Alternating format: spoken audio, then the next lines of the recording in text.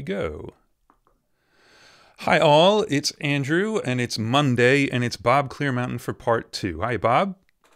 Hey, Andrew. How are you? Nice to see you, man. You too. Good to see you. And got to see you earlier this week, and not as uh, as happy circumstances. Unfortunately, Yeah, one of the Al- Al one of the many many deserved tributes to uh, to Mr. Al Schmitt. Al Schmitt. Yeah. Um, but we're back for part two. We managed to make it almost out of the 80s last time. But first, we got three things to clear up really quickly. So the consoles at Electric Lady were data mix, Right. So there you go. was, which yeah. Eddie Kramer apparently had a big hand in, having seen them at uh, at Record Plant. Ah, right. Uh, Michael Shrieve was the drummer for Santana. I like my brain went into total meltdown mode Oh, yeah. when it turned out you hadn't even worked on the record. Like, okay, that was it. And the drummer, speaking of drummers on the Maynard Ferguson record, was Peter Erskine. Peter Erskine, of course. Okay. We both could have blanked out on this name. I don't know. Uh, well, it, it happens all the time on these, and there are weeks when I know everything, and most weeks I have absolutely. I know I'm going to say the wrong person, so I just don't Yeah. say anybody. But now we're completely caught up to date. Right. So there you go. But I'd like to, if we could, jump in. We'd actually made it up to around 1990, but uh, we want to go back to 1988 because that was, I believe, the first Crowded House record you worked on. All right. Okay. And we should talk about some Crowded House because those are some great, great records. And we were just talking about you going over there to mix a- one of them, and Right. so we don't even have to talk about a particular record, but just just working with those guys and and like that. Did we talk about them at all? Last I don't think we did. Um, I, right, I well- went back through and I think I I put it off because we were coming towards the end. So we we finished up talking about um, the Laurie Anderson and INXS and Robbie Robertson and stuff. But I'm pretty sure we didn't. And even if we did, you can repeat yourself. All right. Well, I just wanted to talk about the uh, my introduction to them. First off, I mean, before I ever heard of Crowded House, I used to go to sleep in my apartment in, in New York with MTV on, which is the, the thing at the time that we all, for some reason, paid attention to, and it, and um, you know, so I'm drifting off to sleep, and you know, you listen to all the crap that was you know, 80s music. It was terrible, most of it, and then all of a sudden, it's like, wait a minute, what's that? What's that sound? And I look up, who is that? On and this sounds amazing. Whatever this is, this music is so much better than anything else. And it was Crowded House. It was Don't Dream It's Over. Right. It was a great video with, you know, walking through doors, and it was just a wacky, wacky video. I said, who the? And so immediately I went out and bought the album, right? And it, it became my favorite. I became like a little kid, you know. I, I felt like back when I used to dream about the Beatles, you know, Right. and I was like a big fan. All of a sudden, I was, I was a here. I was in a you know fairly big time mixer, I guess you could say I would but all of a sudden I be- so. became this this fan of this band, you know, this band from New Zealand, and uh, and and then I realized, then I did some research. and I realized, oh, I see, it's it's uh, Neil Finn who was in um, uh, Split Ends and everything like that. Ah, okay. And uh, he he also wrote um, "I Got You" and and "Message to My Girl" and all these great songs for them. Oh, this is starting to make sense. Well, you know, and then they they they booked the Beacon Theater, which is right down the street from where I lived. I lived on 75th Street at the time, and uh, so I told my girlfriend at the time, Mary, I I, I said, look, you got to go. Tickets are going on sale tomorrow. You got to go down and make sure we get tickets to the show. You know, I was so excited to see this these guys, and then the day before they were they were playing, their tour manager calls me up and says, says this Bob Clearmountain? Yeah, um, you know, uh, Crowded House is playing at the Beacon Theater tomorrow night, and Neil would really l- like it if you would come down and see them because he's really thinking about he wants to talk to you. I was like, what? you know, nice. you know, and that, that's so weird because I just thought, I don't know, you know, I was just this fan, and now the the leader of the band called me. wow. But anyway, so then I went to see them, and then then he said, "Yeah, I'd love you to, to mix an album for us." That's Oh, awesome. great. And, that, and then it went on from there. We, then we mixed um, Temple of Low Men with Mitchell Froom and everybody, you know. Yeah. Yeah, it, that's awesome. I mean, to and to be able to do it so quickly from fanboy to yeah, I'll mix your record. You know, that's Yeah, pretty good. sure, I'll mix your record. That's pretty. I mean, But, did uh, you say, "Oh, I've already got tickets"? You know, I, yeah, I did. I told him. I said, "Well, you don't have to. I got tickets already. you Yeah. can, I'm going to be there. you won't. You can't keep me away." That is awesome. I know. Yeah, that was great. And now the other interesting story about it is that on Temple of Low Men, which is just one of my favorite records I've ever mixed. You know, I love that album. Um, I had just come back from Montserrat, mixing an album down there for uh, a guy named Midge Ure, um, who was from a band called um, I forgot the name of this band. Oh, and it was right on Really the tip of my really- brain. But really famous band. Yes, yes. but a great guy. And um, but and this had happened to a bunch of engineers that came out of that place that swam in their pool that ended up with swimmer's ear.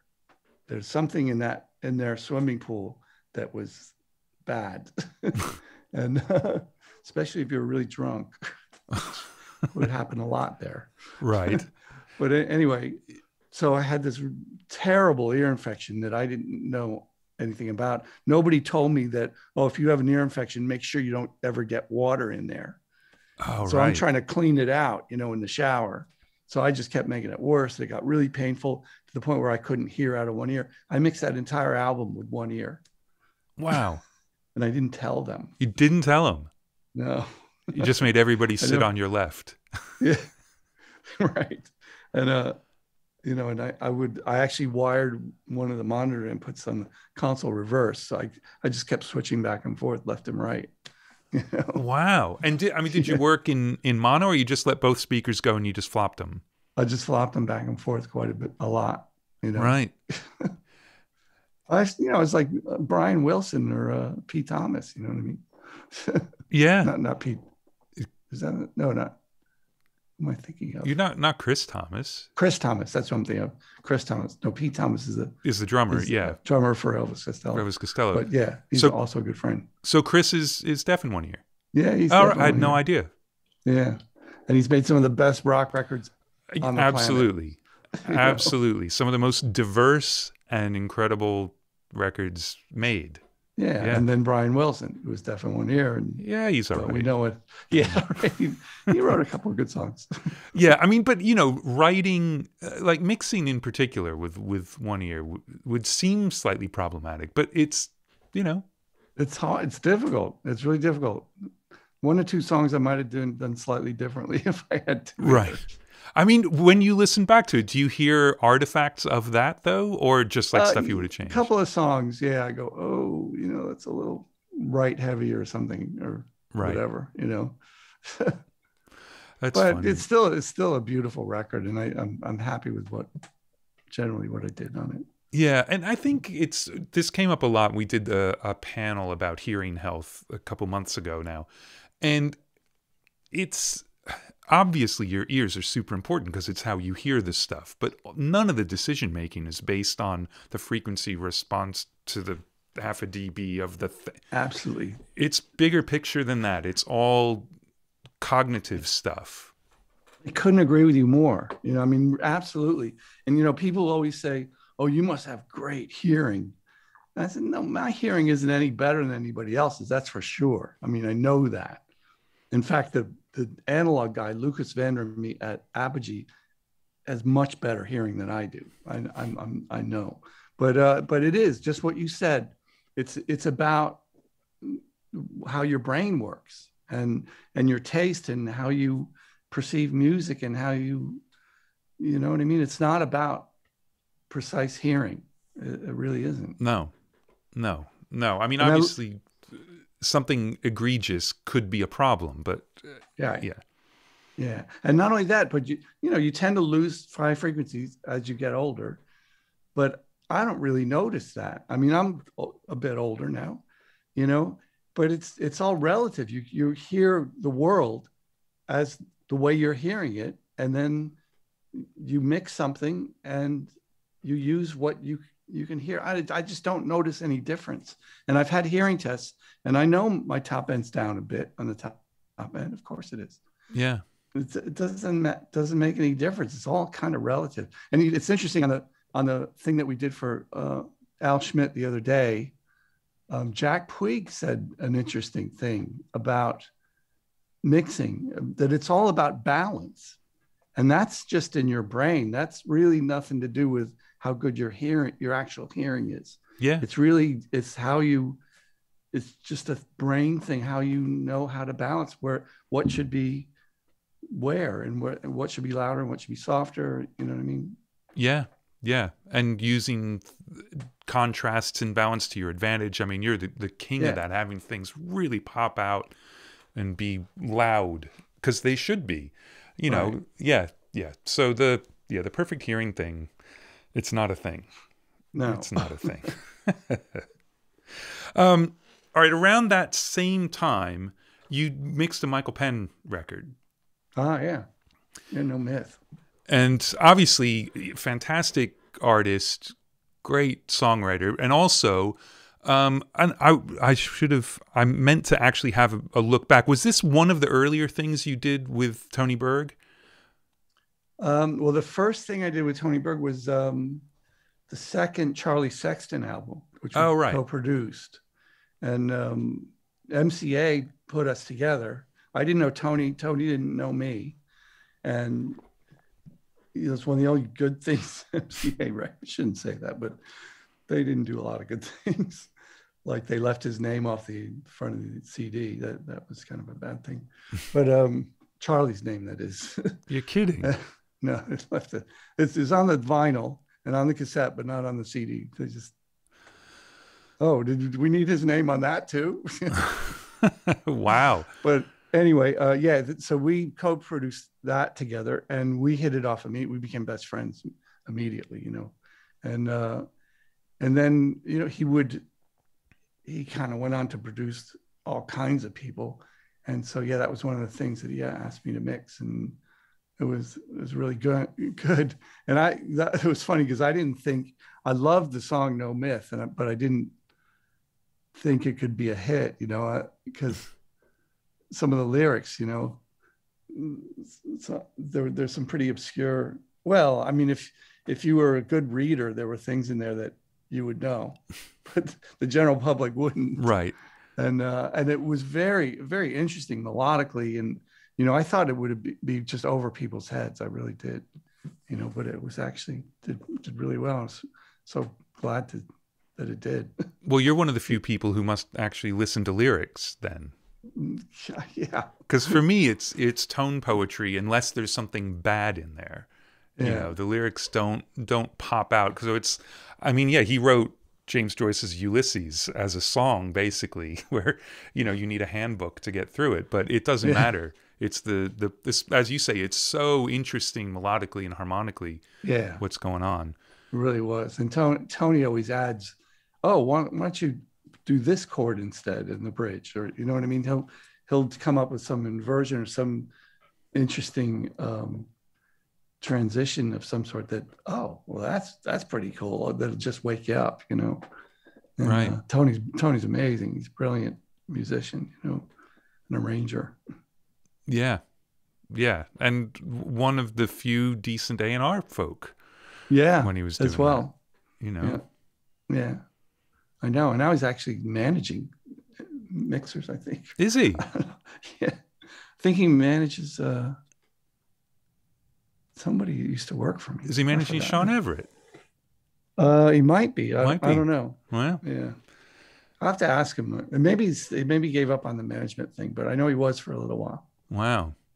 He- He's he's got he's got too much energy. That guy. i know i know know it pisses me off. Slow down and leave some leave something for the rest of us.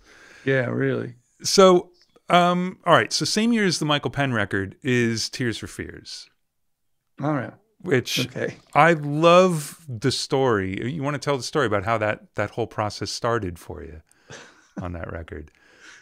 Okay, well the the first song that they gave me to mix was "Sowing the Seeds," right, which is an amazing piece of music, Yeah. And it was uh, very complicated. It was on two um, of those Mitsubishi, Oh, the 32 32 track tracks. machines. Yeah. yeah, so 64 tracks. It back then that was a lot, you know. Nowadays, 64 tracks was the big deal, but um, but they had, you know, it was so complicated. They had stacked the tracks, so there would like there would be three different things on each track, and so just tr- trying to get it to in its point where I could bring it up on the desk and mix it, it was challenging. So I spent a whole day on the thing. I spent more than a day on like sorting it out and then doing a mix. And uh, Roland Orzabal comes in to listen to what I had, and he kind of shakes his head. He goes, "You know, there's really nothing in that mix that makes any sense to me at all." you know, and I'm like, right? I just want to like shrink down and crawl under the door, you know? Man. wow. Oh, okay. Because yeah, no, that's not. You don't have that at all. I go, okay, well, you want to clue me in as to what you're looking for? Because okay, so he gave me some some ideas, and um, so I worked on it for another couple hours, and uh, he comes back and he goes, Nah, no, you don't have it. I go, okay, well, what do you want to do? He goes, um, I thought, you know, I thought, well, I'm just fired, you know, he's, right. he's going to walk out of here, and he goes, nah, let's try a different song. okay, and so then we put up Year of the Knife which is another song in that album. And uh, he was real happy with that. And then he just, I think the producer ended up, who was also a good mixer, yeah, um, did a little section at the end. Uh, it was like a hybrid mix between my mix and then it cut into another little bit of his mix. But so that that went really well. And then he said, "Okay, well that was good. Well, let's try this other song, this Woman in Chains." Okay, and um, that went really well and he was real happy with that. That was complex too. He, he actually had, um, oh, what's his name from Genesis? Uh, Phil Collins. Phil Collins played drums on it. Yeah. Thank you for that. Uh, and um, but the thing is, he had chopped up, like he didn't actually. What he played wasn't really. He he just had sections of what he played, and then the fills he would take parts of each fill. He must have had him go play a bunch of whole bunch of fills, and then he took bits of them and chopped them together. And it was on all these different tracks, different parts of the fills on different tracks. I remember it was really this weirdest, the oddest arrangement of drums. I mean, nowadays in Pro Tools that would probably be a normal thing, but on tape it was. But it would have been chopped up multi-track. Were these all like mono and stereo mixes like, of the kit, or yeah, like stereo fills, that kind of thing. Right, right. Like basically, there was a snare, bass, and mm, snare, dr- snare, and bass drum and overheads, but then he had these fills on little bits of, of whatever, little sections, and but it just sounded totally natural. I don't know how he did it, but it sounded amazing. I mean, it was really, really good. Man, and you that's know, a th- that's a fantastic mix. Woman yeah, chains. thanks. Yeah, I've had a lot of comments. I should go back and listen. I haven't heard that since I did it. It's really it's just tons of comments on it. It's just huge. But I'm wondering after sowing the seeds and then working through the second song, were you adjusting what you were doing to what you sort of realized he wanted to hear, or just you're always just doing what you hear? I mean, obviously you're you're molding yourself to the to the project a little bit. Prob- yeah, I think I did. I don't I don't know, but you, I probably did. Because I, I mean, Woman in Chains is is not dry at all, and I've heard you in other interviews talking about like your mix of sowing the seeds. You started off, you went after the. It's pretty obviously Beatly, like yeah, almost to a copyright issue point in spots. so you would go for that, for that. naturally. That's right, real you know? dry kind of I did. I mixed it really dry, and he really, if you listen to it, it's pretty. Yeah, it's not overly re- reverby, but there's a lot of effects and a lot of space on, on that, and I think it's probably to his credit, it's the reason he gets away with being so Beatly because it does go sonically elsewhere, and it's it's yeah. more of like a little dream homage instead of like, hey, we look, we did a Beatles track. You know, I know, and I should have realized that. I didn't. I didn't get that. Well, I mean, if he'd said, you know. but it's interesting because I, you know, I worked a day on that that song, and then the producer, um, uh, God, I don't remember his name, but uh, he was a really good producer. Is that is that Dave Um, Bascombe or am I confusing Spent a week. No, I'm what's that? It's not Dave Bascombe. I'm confusing it with Dave. Bascombe. It was right, Dave, okay. Bascombe. Yeah. That's right. And um, great guy, you know, was really helpful to me actually. Um, but they, I mixed an entire album in the time it took them to mix that single. Right. Because I, I, I went over to uh, the CBS studio there and mixed, uh, this is in London, and mixed, um, what was it? Uh, uh, a band, band called Deacon Blue. I mixed their entire album and they were, just, and by the time I finished that, they were just finishing up sowing the seeds apparently. Well, there you go. I mean, yeah. yeah. It- but I didn't feel so bad. No. Well, I mean, if you think about it, 64 tracks with three things on each track. I mean, you needed a hundred and something input console, which didn't exist. No, no. It's not like you could just mult some stuff and do some mute automation. You had to really figure things out. It was tricky. Yeah, it was really tricky to fig- to figure it out, and um, and not only that, but the song goes on and on. It's all these different sections in the song itself. You know what I mean? Yeah. like the whole thing changes perspective as as it goes. It's a really complicated piece of music. You know, Did you- amazing piece of music? I think. I think so too. Did did you Yeah. ever mix in sections like ever when you had a song that needed scene changes and things like that and then cut the stuff together or did you always manage to have it all happen start to finish? in the analog days, yeah, before or not, I should say analog days, Like but pre-automation automa- pre-automation, sure, that's the way we did everything, Right. pretty much, you know. But not since uh, automation. I always figure out a way to automate it so it plays all the way through. Right. You know, just you know, I can print it.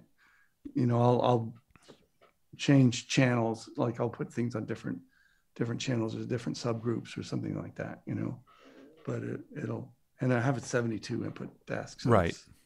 I can usually deal with it. Right. But for the sowing the seeds, where were you mixing that? Um, that was on an SSL. It, it was at Olympic, Right.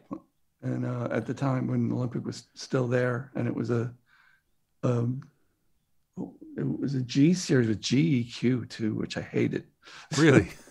yeah, yeah. There, there was the, the GEQ was more popular in, in England, I think, than it was here. yeah. and um, and so that was another thing for me that I just can't get this EQ to sound right to me.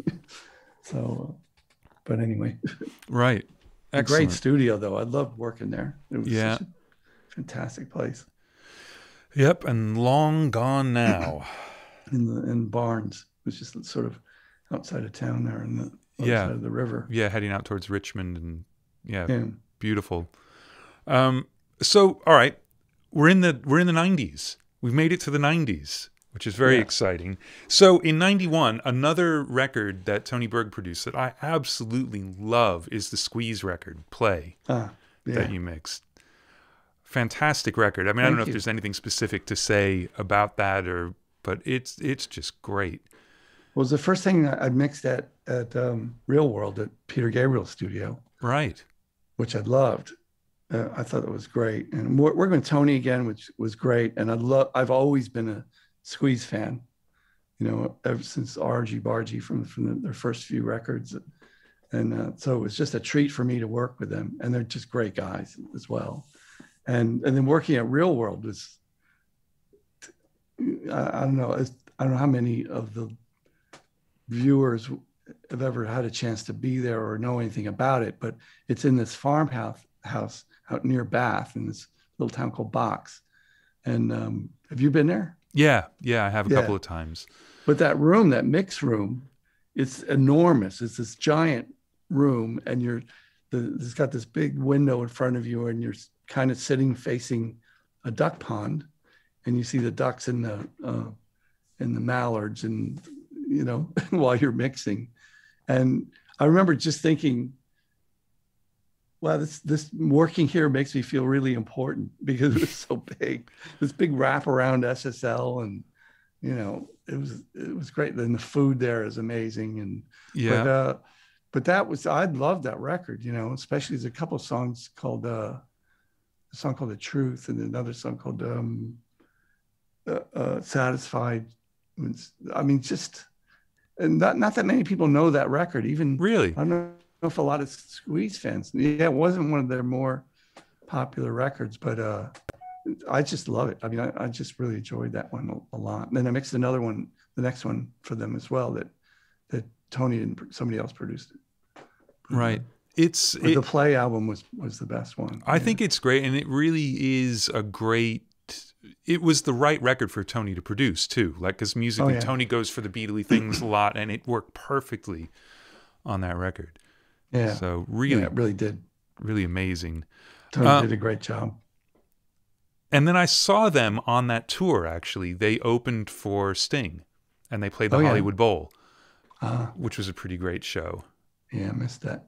So anyway, enough about. they were just what a band. I mean, yeah, them live were amazing. I mean, Glenn uh, Glenn Tilbrook is just incredible guitar player, and he's singing and playing this incredible stuff. I mean, so talented. I mean, well, beyond talented. so now you're an East Coast guy. So did you know the Uncle Floyd show?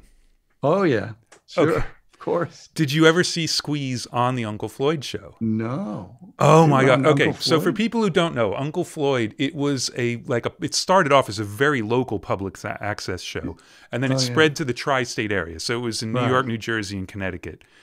And he would play stride piano and he had all these puppets and he was it was just really goofy and stupid, but he had amazing musical guests Yeah, who were that's right. incredibly obviously lip syncing. Like he would just play the record and they would have some instruments. And Squeeze went on and it was when Pulling Muscles from a Shell was gigantic. Big, yeah. And they were on there playing that. And it was just the two of them. And during the guitar solo, we picked up a trombone just because it was so obviously not them playing. Wrong. And it's still one of my favorite moments of uh, of the Uncle Floyd show. Oh, I wonder if that's if you get that on. No, some- I will tell you. I, we can do I a deep dive on the. Uncle Floyd show. I own. There's a guy. I can't remember which one. It's one of the guys who was on the show. Um, you all right? Hey, Just let me. Hang Yeah, on. yeah. It's Probably- probably it's Uncle Floyd calling.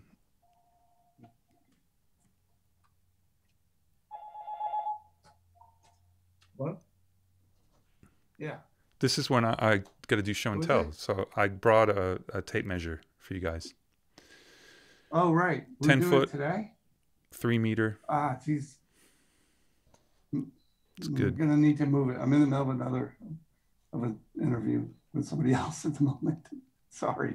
So my Allen key that I was using. Can you call me back in a couple hours? in Like three.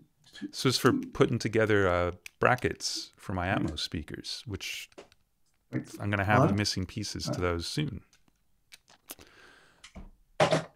ah, sorry, man. That's it's apparently another interview I was supposed to be doing right now. Oh no! I double booked myself. Do you have to go, or are you no, good? no, no. That's it's for the Cahoots album. All right. But, uh, I mean, you can I do it as part of this interview if you want. No, I'll do it. Yeah, I'll do it later. It's, it's just for liner notes or something. All right. Well, look, just to finish up the Uncle Floyd thing real quick. Yeah. One of the guys, and I can't remember who it is, one of the guys who was like another person on the show, for some reason owns all the rights to all the video and has put out multiple DVDs. And I have a lot of them, and some of them are fantastic. A lot of it's not really that watchable. but because of copyright stuff, all the musical guests are taken out. So, Oh, yeah that's no bad. musical guests at all. But there is the fantastic uh, skit where I can't remember what the guy's name is. He's running like a used car lot, and you know they had a dog that would just wander around on the set, right. and he was um it's something the Wonder Dog. I can't remember what they call him, but anyway, he just wandered on the set and took a crap like right in the middle of them doing this thing. He said, "Oh, looks like he put down a deposit on that car." right. So anyway, Uncle Floyd. It was Yeah, on, sure. if I remember rightly, it was on in between Saturday Night Live and the Benny Hill Show, right. like really late, and right before Don Kirshner's rock concert sometimes too. Right. That's right. God. I All right, anyway. Remember that. Anyway, 1980s East Coast. So let's move on, we, to 1992, where you worked with a Beatle, Mr. Ringo Starr. Right. I didn't actually work with him. It was Oh. a thing that Don, Don was produced. Okay. And um, I remember I was in Bearsville and yeah, he just sent it to me or something. I, I can't remember. But I mixed it. Yeah, I just mixed it on my own, I think, or maybe with Don. I Right. remember. But I never, I've still haven't met Ringo, Really? unfortunately. Yeah. And um, yeah, so there's not much to that story. No, no, that's all right. But He you did send me a fax, I remember, and said thanks. Back in the days of faxes, nice. So a handwritten thanks. handwritten fax. That's Yeah. nice. So you were mixing all over the place and we're about to get to where you finally built your own studio. But did you have like a short list of studios you would mix at or were you pretty open as long as it was an SSL? Or did it not even have to be an SSL? Had to be an SSL. Right. Unfortunately, I know that's my one. No, I mean not unfortunately. I mean now it's it's very bizarre for anyone not to have their own mix room. So the idea that you could just go anywhere in the world and show up pair of NS10s on an SSL and start mixing is uh, it's amazing. Well, it was great back then because there were, I know there was so many of them, and you could, and you could take a mix from one to another. I mean, there were, a let's see, and Roxy Music, was it that or no? It might have been Boys and Girls. I can't remember. And Bryan Adams. I both both of those things. I mixed. You know, I'd do some mixes at Power Station. I'd go to Electric Lady. I'd go to to Air in London. You know, like those like those three studios. Kind of, I was kind of going in between, and then sometimes here in LA, um, A and M, which is now Henson, and um, so yeah, I was like, as long as there was an SSL, Right. like you know, I'd, I'd be there. And would you pick Yeah. sort of based on the artist where they were, or was it just like, man, I really feel like being in London now? Oh no, it was where the artist was. Yeah. Was yeah, I usually didn't wasn't up to me. Right. So they'd say they'd pick a city and you'd give them a list of studios. Yeah, or I would just book one. You know, I'd, I'd book Air or wherever. Right.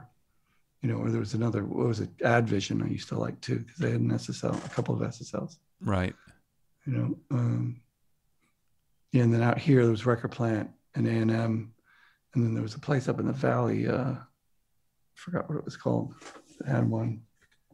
You know, it was a, it was nice because there were, and then then everybody started getting rid of them and getting J series, and well, so much for that idea. Right. well, which or did Neves. which did bring you up to to buying your own, but we got a, a couple records to get through before we get to that because you. I don't know how much of this record because there are five million people who worked on this record, but that Tom Jones record, uh, "The Lead and How to Swing It," which was like his total rebirth album, and I'm curious what you worked on on that record because there are a ton of different producers and mixers, and if there's anything in particular about that one. I don't know. Um, yeah, I saw that in my in my uh, discography. I was just working on a new discography, and I I really hardly remember that. Yeah, I'd imagine know, it was only- like one song then or something. I must have just mixed one song for somebody that was producing it. Uh, that I don't know. I mean, the thing I remember from Tom Jones is a few years ago, ago he played at one of the KCRW radio shows over at Apogee, and so that's it's funny because that's the thing that stands out to me. The this mix that I did, I I don't actually right. I hate to say it, but I don't remember. It's Unfortunately, and I love Tom Jones. I mean, I'm, you know, it's silly. Just Well- like the Ramones, you know, I recorded part of one of the Ramones albums, yeah, and I didn't remember that yeah. doing it. You know, it's, it's terrible, man. My memory. It's it's fine. I, it- and Tom last week, I believe, became the oldest person to have a number one record in the UK really with his new record. Yeah, great. He's got a number one. a Yeah. number one. Excellent. yeah, He's so good, man. The guy is so talented. yeah. What a voice. But know? that record was a real turning point. He'd he'd gone to the point where I think people were expecting him to like only do shows in Vegas. You know, it Yeah. was starting to turn into like, oh, it's just to time to do a Tom Jones revue. And he remade himself completely on that record and just exploded again. Wow. It's, yeah, great. I have to go back and get it. So, it. you- it's a good thing you were a I part of it. I can't tell you much about, it. but do I do I do remember mixing the one song, whatever it was. Right. Yeah. Fair enough. Fair enough. I mean, this is the part where I'm just going to say names, but I've I've pulled out a couple of things which seemed a little a little odd as well. So, well, first of all, there's um, a live Bonnie Raitt record that Don was put together, Mhm. um, but there's an Adam Ant record. Oh yeah, right. I'd love to hear a little bit about that because that was an attempt at a rebirth, basically. Because I think it had been at least eight years or so since he'd put anything Long out. time, yeah, yeah. Um, that was another one where he he just sent it to me. He called me up on the phone, and I said, "Yeah, great," and sent it to me. Never met him. I did talk to him though. I'm pretty sure. Yeah, I'm sure I did. And uh, you know, I don't remember anything specifically about it except like I I enjoyed it, and I I always liked Adam Ant. I Yeah. thought he, he was an interesting character, and I liked the because he had this big hit back in the '80s at some point. Yeah, Ant Music. Uh, Yeah. Right, Ant Music. That's right. Yeah, it's a cool, fun record. And this is pretty good. And I, and I thought he was gonna. Oh man, he's gonna come back, and never quite happened, unfortunately. Right. So, did you find at this time, sort of early to mid 90s, that you started not spending time in the room with the artists as much as you used to? Because it feels as though Uh, there are more records that are like, yep, I mixed it, they were done, like that was it. Uh, yeah, it gradually got that way. You know, um, probably one of the first ones like that was was still in the '80s. Was um, for the Cure. Uh, was uh, okay. Once again, what's the name of that song? Um, th- I just gotta- like heaven. Yeah. It's called Just Like Heaven, which I never spoke to them. I never met them. They sent it to me. I mixed it, sent it back, and they said, "Yeah, great." and it was one of their biggest singles. And no comments, nothing. no comments, nothing, nothing. I just sent it, just, and then, yeah, that started happening, and uh, you know now it happens a lot, happens all the time. Yeah. Um, I mean, there's some some bands that come in and I meet them, and you know, right now I'm working with Journey, believe it or Right. and so I've been, I mean, I haven't seen them, but I mean, I know them all already, so we talk on the phone a lot. Right. So, uh, Right. So, was that part of the impetus for deciding to finally just build your own mix room?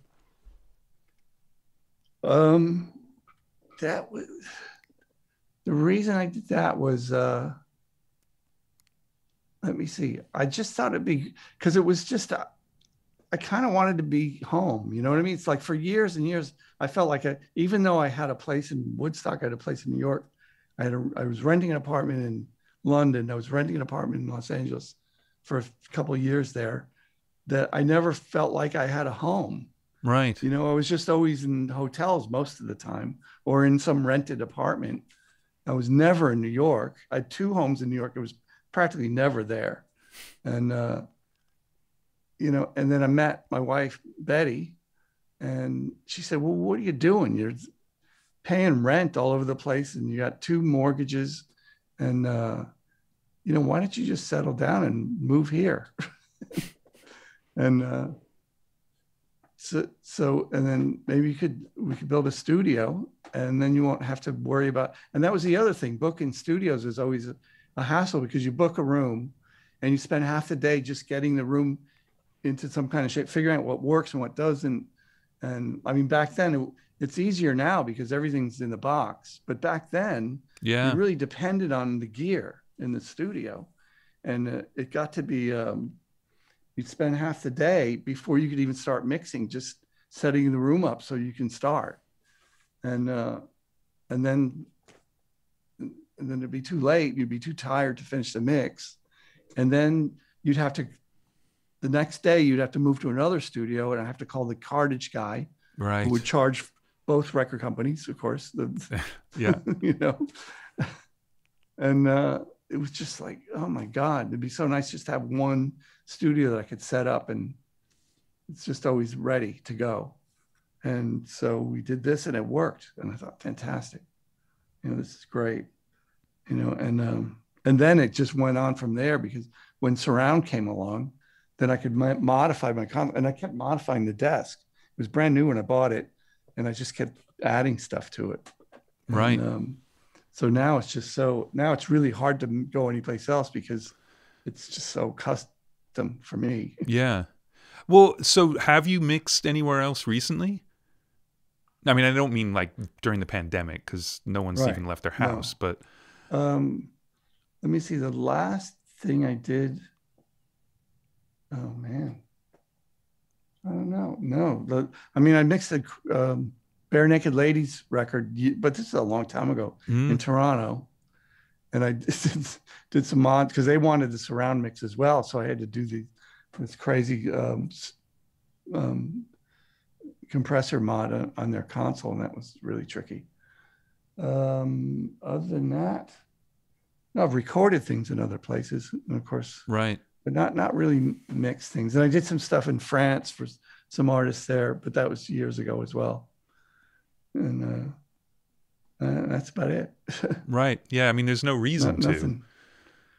No, reason to at and all. Yeah, that's the thing because everything's online anyway, and there's no, there there really isn't any reason to, to go any other other place.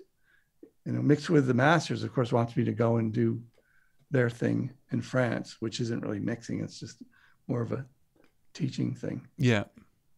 Yeah. But that that would be the only thing. And that would not be on an SSL. Well, I know that's the thing. That's why I keep hesitating doing that because it's it's it's become such a part of. I mean, I've been mixing on a console like this since what 1980, I think. you Since know? they made them. Yeah. yeah, and right, exactly. And so it's become such a part of what I do. And if I tried to do quickly do what I do on this, I'd be sitting there thinking, okay, how would I do that on an 88R? You know, like- Well, we were talking before we, we came on about you building your studio and that when you first built it, you built the shell and then you rented in Sting's Right. SSL in a box. Does he still have that? I mean, you'd imagine he probably Um, does. I guess he does. I don't know. Yeah.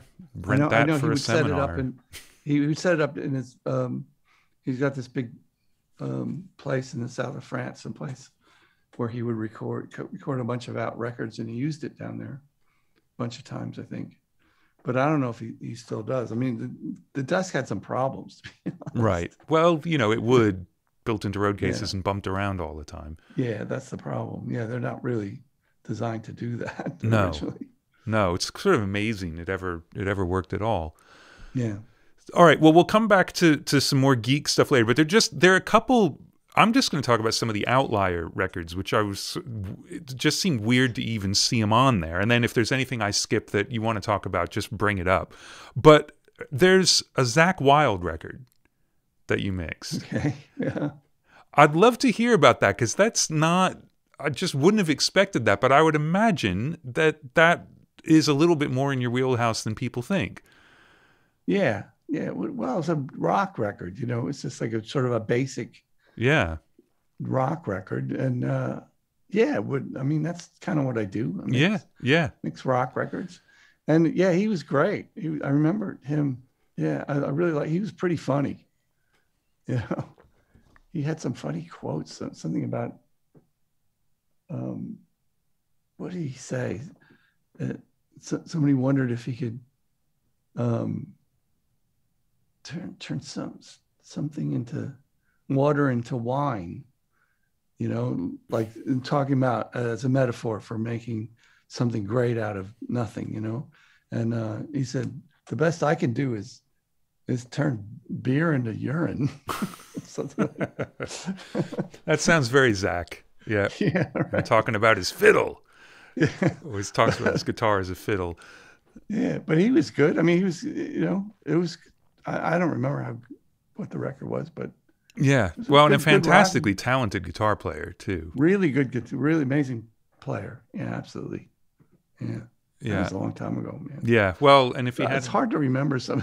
I know. And I that's do why. remember him. that's why I'm j- I'm just wanted to ask about some things I was curious about because all right so in 2000 you mixed a Bad Religion record that Todd Rundgren produced which Oh, yeah. somehow I didn't even know that Todd Rundgren had made a Bad Religion record so anything you want to say about that would be absolutely fascinating to me because that that pairing is it makes perfect sense, but it's unexpected.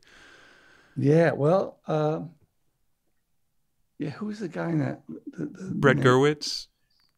Was no, what was the guy? Was that the guy's name? What's his name? Well, Brett's the kind of main songwriter in Oh, the okay. band. Okay. All right. Yeah, I guess it was him that I did it with. But uh yeah, that was fun. The the pro the thing about that, I mean, Todd, I'm such a Todd Rundgren fan. I always have been. You know, I mean, you know, hello, it's me is the ringtone on my phone. you know, and uh I still listen to his records all the time. But I tell you what, him producing a, other as an engineer, it's funny because he he did a great job on the on on the stage fright album for the band.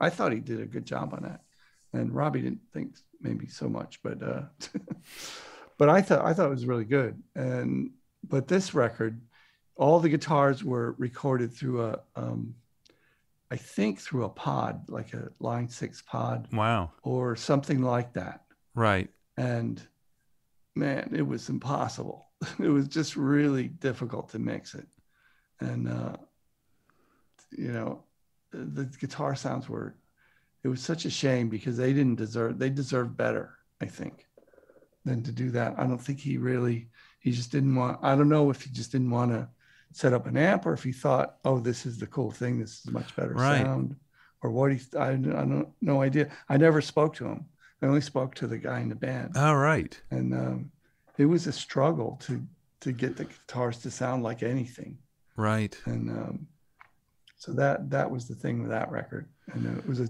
great re- i liked the record it was really fun you know because i liked the band i thought they were very good It's it's weird. Todd's got a as a producer, he's got a reputation for making records that I mean, like he the XTC record Skylarking he produced, I absolutely love. But That's apparently Andy record. Partridge hated doing it.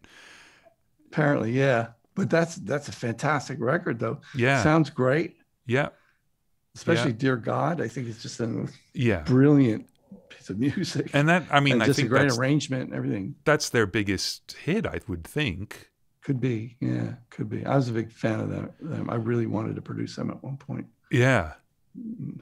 I Well- really like that band. And Andy's still around and still writing, so Is he really? Oh, Yeah. that's great. That's good to know. Yeah, I mean, I don't think they've done an XTC thing in forever, but yeah, yeah, that's that's a good band.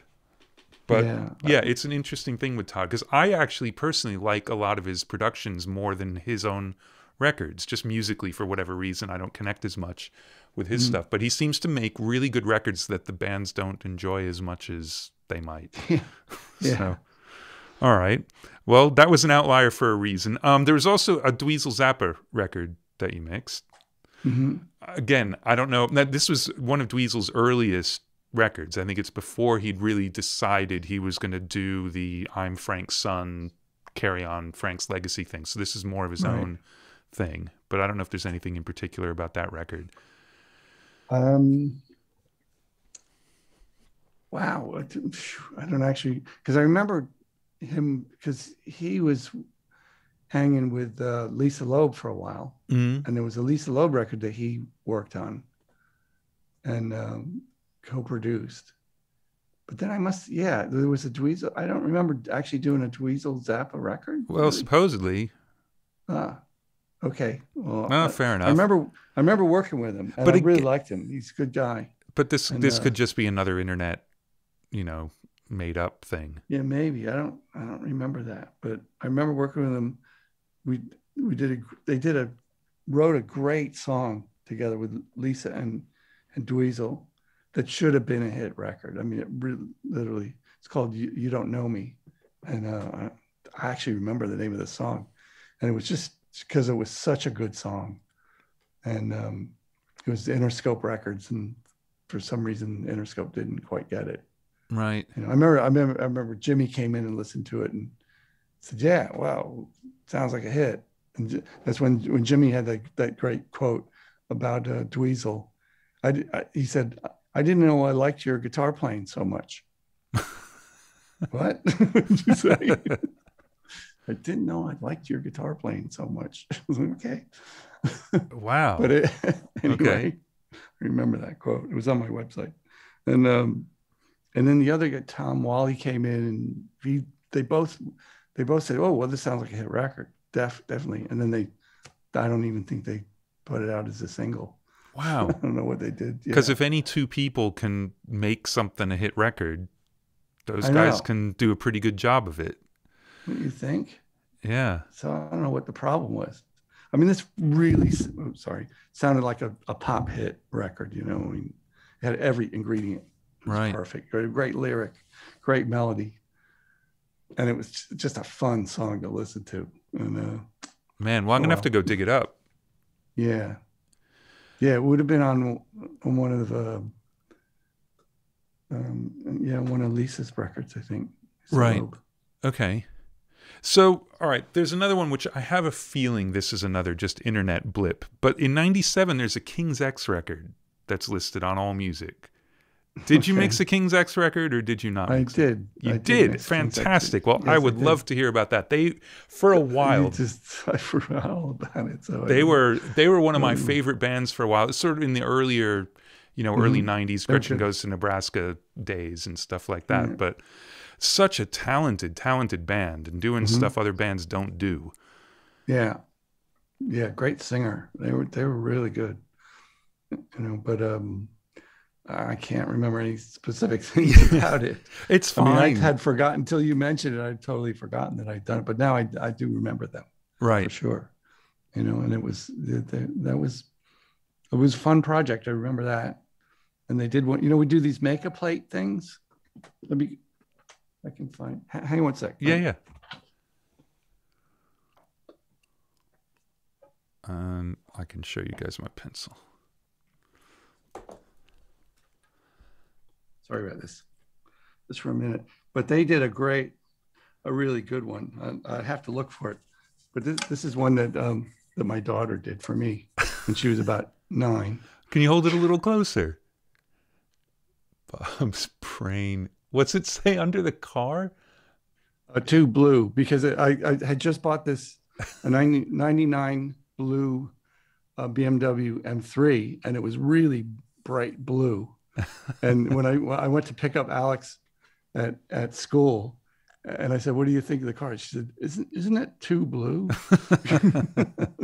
That's great. and so so the name of the car became Too Blue.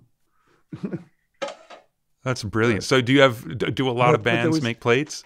Yeah, but they made they made a real, couple of really good ones. I'd, I'd have to hunt through all the plates to find one for you right now. But How many plates but, do you uh, have? Do you think? there's probably um about 25 or 30. I mean, nobody's really kind of no nobody's been here lately, so nobody Right. has done them. But uh, you know, there's a couple of pretty good artists like John Leventhal did like a couple of really good ones, and and you know, there's some pretty interesting ones. That um, and, and it's kind of fun because it's the souvenir that's that's here in our outdoor kitchen, that- Right. That we use. We actually use them every day. it's kind of a fun little thing to do. And we, I, I, I got to pick it up and do it. because you just, you just draw. You, they give you these um, special kind of markers, and you do it on a round piece of paper, and then you mail it off to this company, and in a couple weeks, these things come back in in a plate. You know, All it's right. like a plastic laminated plate. You know, so not That's highly cool. toxic then. no, not at all. No, Good. I hope not. yeah. Wow. Um. All right. So I'm just going to say some more names, and you're going to say whether you remember anything about these records or not, and we'll just see what happens. Because then I, I- we can definitely do some geeky talk. So there's a Jonatha Brooke record, Mhm. which did you co-produce that? Did you do Yeah. some? Pro- yeah. Well, there's a few. The, the first one was called 10 Cent Wings, which I just mixed. Right. And um, that she, it was produced by uh, somebody else, um, French guy, forgot his name. But, um, and then the next one was um, Steady Pull. She asked me to produce the next one, which is called Steady Pull, which we did right here in the lounge. Right. And, um, and there was a couple, there was one called Careful What You Wish For, which I co-produced, and then another one called The Works, which is all uh, Woody Guthrie's music that she wrote lyrics to. Right. And then I've mixed a few other records for her too, as well. You know, she's an amazing talent. Yeah. You know, I know I keep saying this about all these. I've worked with them unbelievable people. I mean, she is truly ph- phenomenally talented. Talented, you know, because she's kind of a, you know, one of those singer songwriter, female singer songwriters with an acoustic guitar. But a lot of those kind of people, they just kind of strum, you know, they'll, they'll strum a G and a D or whatever. You know what I mean? But she actually makes up tunings for the specific song. Right. She'll go, well, this this isn't interesting. And she'll change it. No, that's not good. Uh, oh, there we go. And then she'll she'll have to make up chords right. with her fingers. Like, how, does anybody think that way? There are there are people. It's amazing how their brains can like they relearn the fretboard in seconds. it's unbelievable. incredible. And then, you know, and so you you'll hear these these records where th- they sound like sort of pop songs, but if you really listen to what she's playing, it's really unusual, and yet very melodic and very pleasing. It's not it's not like weird jazz or something. It's, right. Right. you know, it's pop music, but wow, how do you do that? And then what's really fun is watching her explain what the chord is to like the other guitar player or the bass player. You know what I mean? Right. Because they're sitting there watching her hands, thinking they Yeah, know what's going like, on, and like, what what the- the hell? Yeah, like Val McCallum going, "What that? What are you playing?" It's like, okay, Man, if Val can't figure it out, it's Yeah, got to be complicated. I know. That's amazing. So, yeah, so she's amazing. Yeah, so when, because you know, we talked about earlier in your career, you decided for a minute, like, okay, I'm going to be a producer, and then you thought, no, I don't want to be a producer. This is not fun. I'm just going to mix. So, Yeah. what does it take for you to say okay to production? Like, did you have to talk yourself into producing with Jonatha, or like you just jumped at it because you loved her as an artist? well, she talked me into it basically, and uh, I said, you know, I don't really like producing. She goes, "You'll be great. Don't worry about it." And you know, the thing is that she produces herself. You know, I'm sort of the engineer, and I'm I'm kind of there to bounce ideas off of, or kind of kind of push her into what she does. You know, which I guess is kind of a lot like what a lot of producers do. Yeah. But uh, but uh, she's so talented. I, I didn't really have to do that much. You know what I mean? As Right. far as producing, and it wasn't some psychological like I had to get this person into a s- certain state of mind or whatever, and I and I didn't have to arrange anything. I mean, I always think a good producer is also uh, like a, an arranger and should know.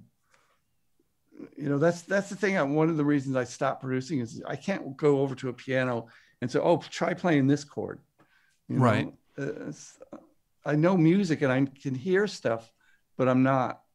Unfortunately, I never learned to play piano when I was a kid. Well, there are a lot of producers who don't do that, and some ridiculously successful ones who don't do that. Yeah, I know, and I just didn't think I was good enough, and I didn't have the patience for it. And then, and the other things, I mean, I just like the the mixing part, but but with her, it was just because we were became good friends on the first album that I mixed for her, and so it was more, it was just like a friend, a friendly thing, and we were, you know, it was really no pressure with her, really. Right. No, uh, it was just very relaxed. And was it sort of an organic thing where she'd say, "Hey, I've got a song and let's do it," or did you actually book it out Yeah. like a like a project?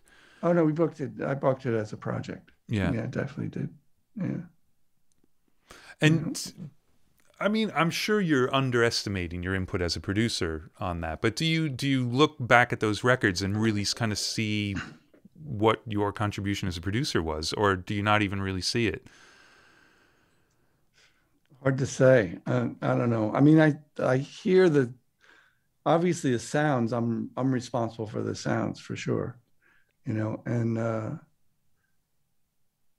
uh, yeah, you know, here and there, there's some things that I I kind of added. You know, but uh, I don't know. You know, I don't. It's, it's hard to. Yeah, I think think about. it's it's um it sounds like I mean you were there just to keep her focused, just to like you had the idea of what the record was and that way she could get lost Yeah. in the details Kind of. Yeah, I guess. or or not. I just made that You up. know. I could be wrong.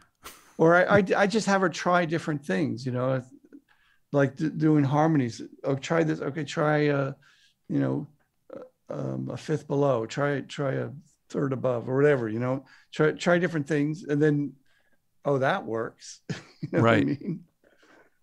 Or, you know, we, we do, I remember there was one song on one of the albums where she was trying to come up with a bridge. She hadn't quite gotten the bridge chords.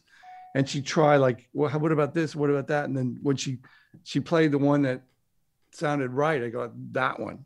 Right. know, that kind of thing. Well, and that's huge. That that's a big Eh, deal. I know it's huge. It is big. It's big. Big, big, big. So do you enjoy recording in those situations? You enjoy getting back to it? Like, say it again. You just At it just engineering. went up, the sound sound went out. Oh, sorry. Do you en- do you enjoy engineering? Actually, the recording part of it when you're producing a record like that. Um, sometimes I like the first part of it. I like the like like getting the drum sounds. I like doing that, Right. and then I wish somebody else would take. Right. No, no, not not the tape hopping part. So the actual just engineering part. Yeah. Yeah, and and um, to be honest, uh, for me, it it started to get get boring, especially like doing vocal overdubs. Where, I mean, Jonatha was amazing because you do four takes and well, they're all perfect. Right. but but when you have to kind of do 10 takes and then comp and then do 10 more takes and then comp and you know know you're a little flat you're a little sharp you know you put you're rushing the beat or whatever you know it's like man this is just tedious for me Yeah. and and I- I'd, I'd rather be sitting there doing it and somebody saying that to me so oh no that that that mix isn't good can you try this okay yeah i'll try that Right. you know what i mean like I, i'm better at taking direction than giving it Right. is what I'm saying. You Interesting. know, which is kind of pathetic, I guess. No, no, not at all. Because I mean, look, the your first pass on a mix though is full of your direction. Yeah, so right. Okay. You know, it's but it's also in some ways it's a little bit of the safety net of they are going to come back and say whether or not you know it's all right or not or whatever. But Yeah. it's it's not like you're not doing anything. You're not just like, hey, I balanced your tracks exactly like you gave them to me. What do you think? I mean, you're No, no. I usually try to do, you know, add something right, when when I'm mixing. It's just that that telling somebody, you know what I mean? It's the it's that whole social interaction or, or uh, trying to get somebody to to perform a certain way, right. which I, I just don't like to have to do that. Yeah, it's a weird psychological gig. it, Yeah, like I like do actually doing it. Like I'm, I'm more of a hands-on than a just Right, telling somebody what to do. right. Um, there are other records which we'll talk about in a sec, but let's talk about because we talked a little bit about you building your studio, but let's talk about the studio at Apogee Mhm. that you've got as well, because that's totally different and used Yeah, for totally different things. So Totally you want to talk about putting that together and why and where the desk came from and what it's used for now, because it's pretty fascinating. Yeah, well, you know, it's my wife's building, Apogee. Of course, she's CEO and boss and everything. And um, but we had this extra space that was really just being used for storage, because it's it's basically a ten thousand square foot building. Five thousand of it is basically the Apogee offices on the left. On the right, the the back part of that is the warehouse, and there's a lab where they. Of course, Apogee gear never breaks, but in case something did break, Just- that's where they'd fix it. Yeah, yeah. It's it's a it's a hypothetical rhetorical department, but Yeah, right. Exactly. There we go. but then the front part of that was was just this. Um, there was a little office in the front, and it was just a big empty space. It was like a loading bay, and uh, so I, you know, I thought, man, this would be, make it what a great room. I could just picture the studio being in this room, and uh, went into to the wife's office and sat down on her couch. and Said, look you know, it's a big waste of space over there. It's just a bunch of crap in there. It'd be nice to just throw turn it into a little studio, like a garage studio, just a cheap thing where we could re- record punk bands in there or something.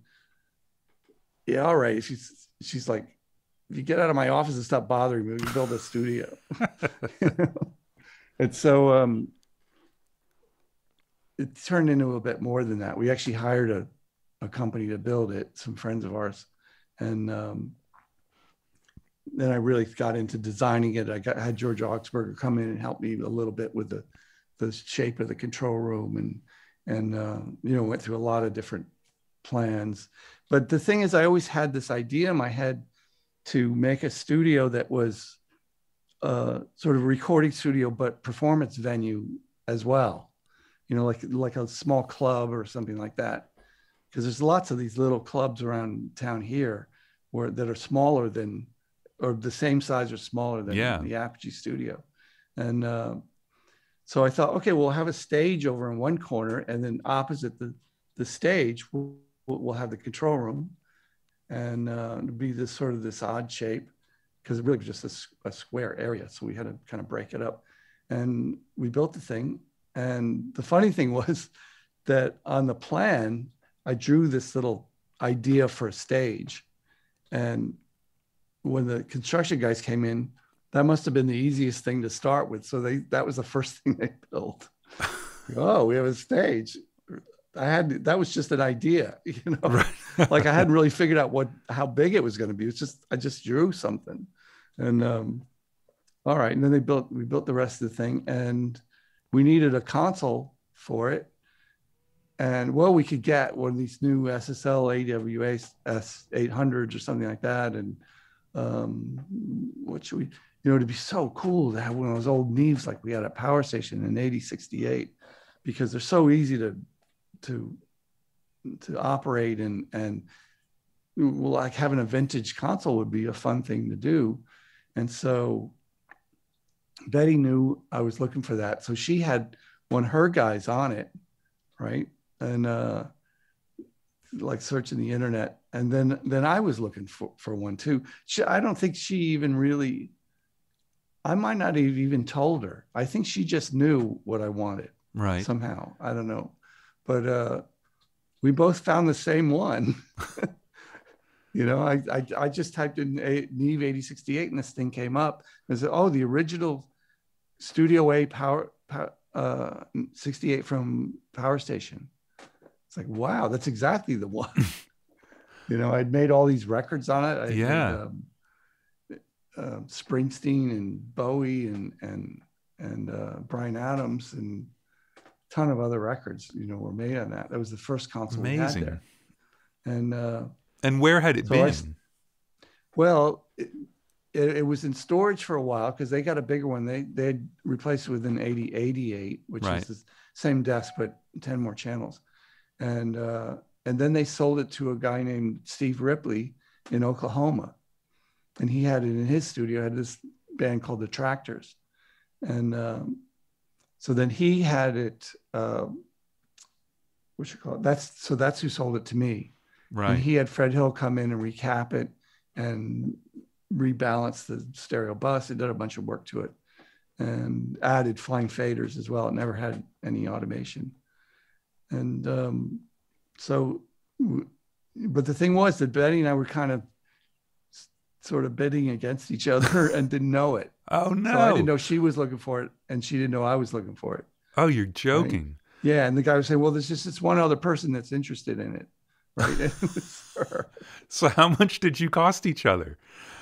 Uh, well, I still got it like five grand less than what he was asking, so Right. it was not too bad. I mean, I might have gotten, you know, another five off of it. Right. Which, But, uh, you know, that's fine. Yeah, it was fine.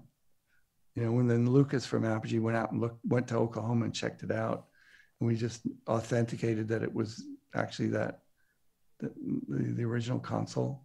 Then Eddie Evans from um, from Power Station, who was the Tad Tech at Power Station, actually sent me a drawing of the schematic. Oh, fantastic. On the, on the wall at Power Station now too, which is nice. So he authenticated it as well. He knew it really well Right. because he had to fix it all the time. But anyway, so it's it's sitting. It just sounds amazing. We've um, we've upgraded it. I did I did a um, fader flip so that because I'm mixing radio shows, you know, that console was the first inline console that that Neve ever made. Yeah. So the monitor mixes on these little knobs Yeah. on the on the channels, and the the the mics came up the faders. Well, obviously for mixing a radio show, you don't want to mess with because you're recording multi-track at the same time. So you don't want to mess with that. You just want to control the monitor fader. So we did a fader flip, which is pretty intense Yeah. modification on that desk. You know, and then a bunch of other mods that we came up with. So it's pretty heavily, heavily modded. As are But most still- of them. Yeah. Yeah, the, you kind of have to, because they're so basic. I mean, Neve didn't know, didn't understand about um, an inline desk and. And was it had a was it a Mark One or a Mark Two? I'm going to be geeky because I owned one too. That's the original Mark One. So Mark One. So that that didn't have all. It didn't have a remix mode. There's all sorts of stuff that the Mark Two had that it didn't have. Yeah. Yeah, well, that was added. We it, we yeah, I think Power Station added the, the the remix mode. Right. You know, so it didn't and did originally have that, even though it was a, a Mark One originally. It was all modified. Right. But still, one of the one of the most flexible mixing consoles. Once you've got those few mods done, I mean, eight sends, two stereo, four mono, right. sixteen bus. You know, the input hits absolutely everything. Quad mix bus, like it's they're Yeah. pretty badass. It's good, and it's so you know that equalizer is so easy because you just you don't even have to look at it. You just you click the thing, you know, two stops over and turn it. You know, Yeah. it's it's so fast to set up. You can set you can get a session going. It's such a great recording desk because you can get a session going in you know Yeah. 15 minutes easily. And you want to talk a little bit about all the radio shows? Because, I mean, it, it gets used pretty regularly now, right? Yeah, well, we've done close to somewhere around 100 radio shows for uh, for KCRW, and they um, they come up with the bands. That they're usually bands that have an album about to come out, or you know, they just happen to be in town or something like that. And we we had no control over who who was coming in, even even though I would suggest people, but uh, and um, it's really fun because it's, it's get about 150 to 180 people standing room in the um, in the room, and it's like a party. We were doing these all the time. I mean, maybe once, average about once a month, maybe it Right. wasn't regular, but it was. We had a couple of bars. They would set up a couple of bars, so there were drinks and and um, it was. It's just fun. I can't wait until it starts up again Right. because I really miss it. I mean, I would. It would be a whole day. Obviously, we'd come in in the morning, set up. We'd have to. uh There was always this conflict with the the warehouse because you know all the mic stands and there was all this stuff in the in there that had to move out because we get a lot of people and we have to find places to put all that junk in the in the warehouse. And it was always a bit of a conflict with the warehouse guys, like, well, can you wait till a little later? You know? and um, he'd set up and then we'd set the room up and do a sound check in the afternoon. And then we'd usually have to do radio idents at some point before dinner and and then do the show at night. And it, it was always fun. They do they usually do half a set and then the DJ would do a like a 20 minute interview with the band and then and then the rest the rest of the set Right. and people just have so much fun i mean it's just I, especially me i have the most fun because i get to mix the thing live Right. you know i'm sort of kind of and I, always let the doors are open to the control room so there'd always be people sitting behind me so i always felt like i was part of the show Right. That's great. Kinda. you know it just it's just fun you know just surrounded by people and and uh And they're all going out live. Well, no, no, it's uh, there was only one So- that went out live. Okay, just so they're all recorded. taped. They take my live mix, but um, and then they'd edit it later because it had to fit into a one-hour show. Right. And uh, and the only live one we did was was for the um, um, Alabama Shakes, which is really incredible. You know, hopefully when we start back, I I, I hope I we can do well. We're going to probably start doing our own live shows.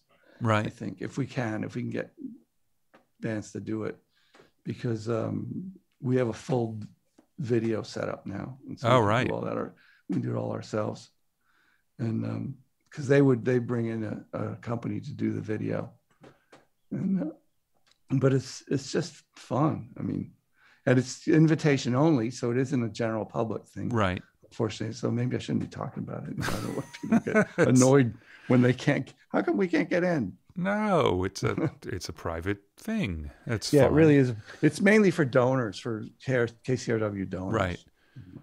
And do you find yourself mixing completely differently for those? I mean, obviously it's totally different desk, but is it much much simpler and you're really mixing it like front of house sort of thing or Yeah.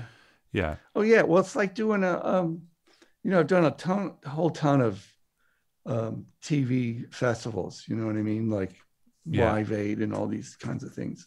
And so it's like it's just like that, and you keep it really simple. I mean, I have a million different effects going on. You know, when I, I set up a mix here, I have all my delays and re, you know four or five different types of or six different types of reverb. You know, this thing I have one reverb basically. Right. I've got a 480. Got this 480L. I either use that or I use something in the box if um, if I have a spare computer and uh, and uh, oh, my cat, sorry, my cat is scaring me. She's like, Well, should we meet your cat? yeah, here. There is a fantastic interview of you sitting on one of those kneeling chairs with your cat curled up the entire time. Hello. That's Walter. hey, Walter. Oh, Okay. he's- out. and yeah and um you know so any, i don't know what else to say about it but it's you know it's just a fun day Yeah. and i and i take a day off i get out it's a it's a way to get out of the basement you know Right. yeah, it's got to be super refreshing to do it.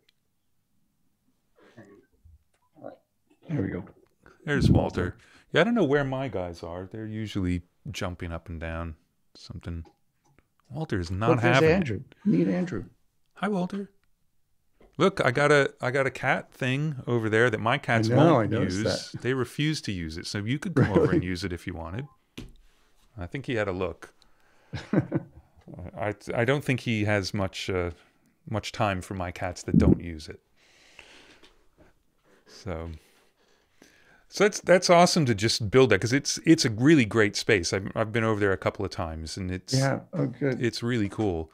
And I'm yeah, assuming hope, i hope you can come to one of the shows you yeah, know? well, I, I'm I, at this point I don't even think I'm allowed to come into the country, let alone go to Oh, a really? show. So, yeah, UK is a restricted uh, travel oh right yeah sure thing. well, hopefully that'll change soon Yeah, yeah, I I'm definitely hope so. Um, what was I? I was going to say something, but it wasn't very. I'm sure it was a whole lot of nothing really. Um, oh, I was just going to say I, I would imagine because we talked about uh, there was a question last time about having to mix a live show without good room mics. I'd imagine you've got some good crowd mics going. Oh yeah, yeah. Got a couple. I think the latest. Um, I was using a couple of KM86s hanging from the ceiling. Now uh, I think the I'm using the 86s for other things, and I got a couple of uh, AKG 414s because I don't think they're good for much of anything else, in my opinion. but they, they work all right for crowd. well, it's one of the few microphones you can actually stuff inside the bridge of a double bass. So That makes sense. Oh, that'd be good. Yeah, that, That's that- kind of cool. Using it like a PZM right. when you get an upright player who's moving around all over the place. It's a step up from a DI. That's a good idea. Oh, that's a good idea. I used to use a um, what is it? Uh, an eighty-one. Raw with the with the angled. Is that the one with No, the just corner? eighty-one. I would I'd wrap it in this back in Media Sound. I would wrap it in foam, hmm uh, and uh, it's a Neumann eighty-one, and just shove it. Uh, oh no, not in the bass. Sorry, in, a- in a harp. We used to use, put that in a harp.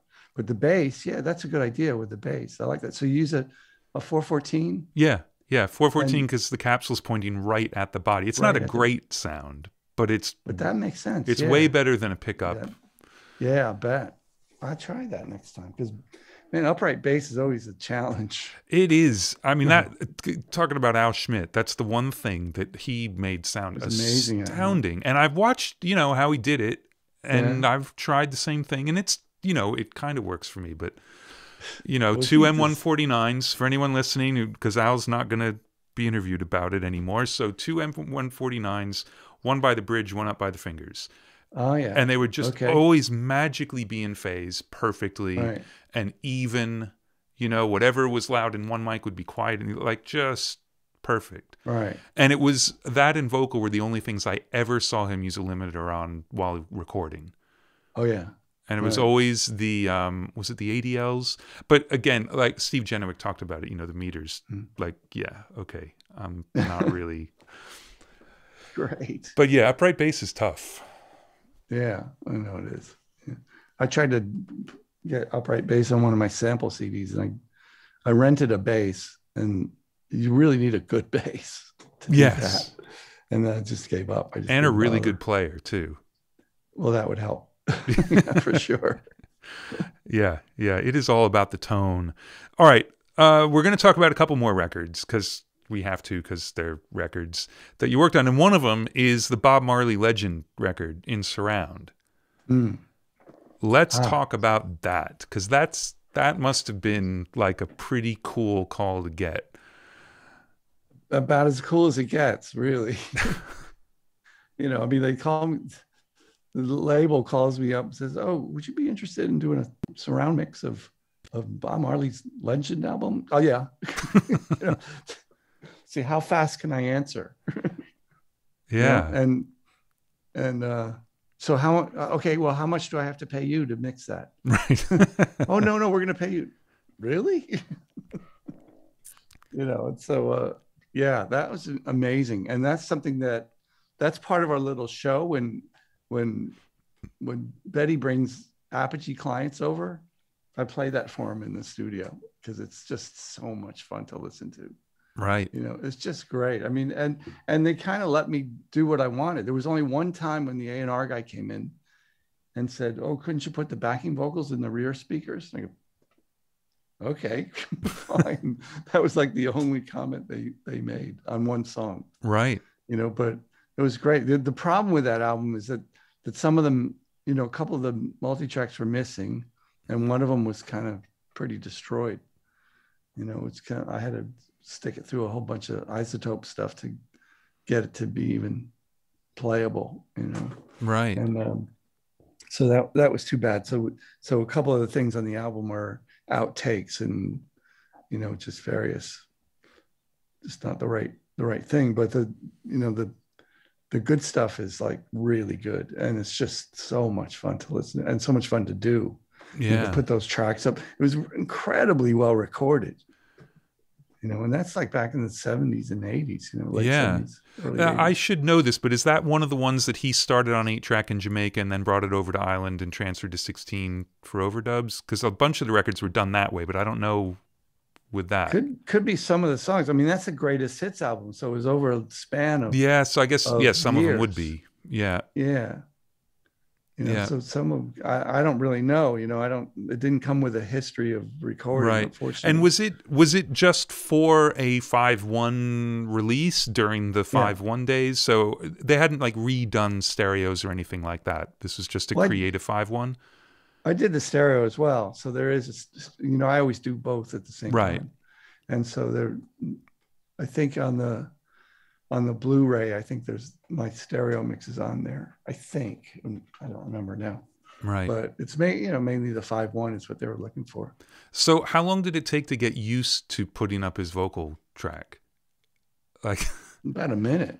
but I mean, uh, it's just the kind of thing where I think I would constantly just get goosebumps, like over and over and over and over. well, It yeah, would- it yeah, you kind of do. Yeah, it's like incredible to listen to, but uh, just the whole thing, you know, not just his voice, but that band is yeah, just they're so good, uh, you, you know, and and it's and to be able to hear it, I wish everybody could hear that that album in five one. I mean, it's a shame they didn't promote it and people don't know about it because uh, I, and I might, you know, I don't know, I might even just go back and remix it myself in in Atmos just so because that's become the the big thing Yeah. now. yeah. Well, I think you should, and then you should send it to me so I can listen to it. okay. yeah. Uh, I don't know. Maybe they'll ask me to, to do that. Who knows? You should ask uh, them because I, look, the services are starving for Maybe I will. content, Yeah. and if you can start cranking things out. Yeah. yeah. And I would gladly, you know, check out the mixes if you need anyone to check them out. Yeah. So. Have Have you heard this at all by any chance? The five one. No, I haven't. I've I've never had a setup for five one ever. Uh, So the once the surrounds are up for Atmos will be the first time I'll actually even have a five one setup. right. Oh, right. Right. Yeah, it's really. It's. I mean, people come over and, and it blows their minds. It really does. It's. It's really fun to watch people's faces, especially, especially Marley fans. Right. You know, they come in and they listen. They go, "Holy shit!" That's They just amazing. can't believe it. Yeah. Have because you- it's great because you can you can go what's really nice is is you can go and hear if you want to hear what the organ player is doing you can go back next to that speaker or the piano player and you know and and then it's cool to walk around the room and get different perspectives on what these guys are playing you know? Right. it's not the kind of thing where you always just want to sit in the middle Right. that's yeah that's cool but just you know so hearing it from outside sometimes and from different places you And get is- different perspectives I- on, on Is what- that the what way you happens. generally approach the five one? Is to split things up, or do you build sort of a soundscape, or how how do you generally approach the five one versus the stereo? i i the way i like to see i'm very visual and i like to see people standing in places like i i, I want to hear a guitar player over there and i want to hear the keyboard player maybe stereo in the back or right. You know what I mean? It's like it's it's like I really don't like it to be vague. right. I like it to be very um, sort of distinct, and and everybody. uh, I, I I just think that's fun to where you're sitting. It sounds like you're sitting in the room in the middle of a recording session, right. and they're all sit, sitting around you.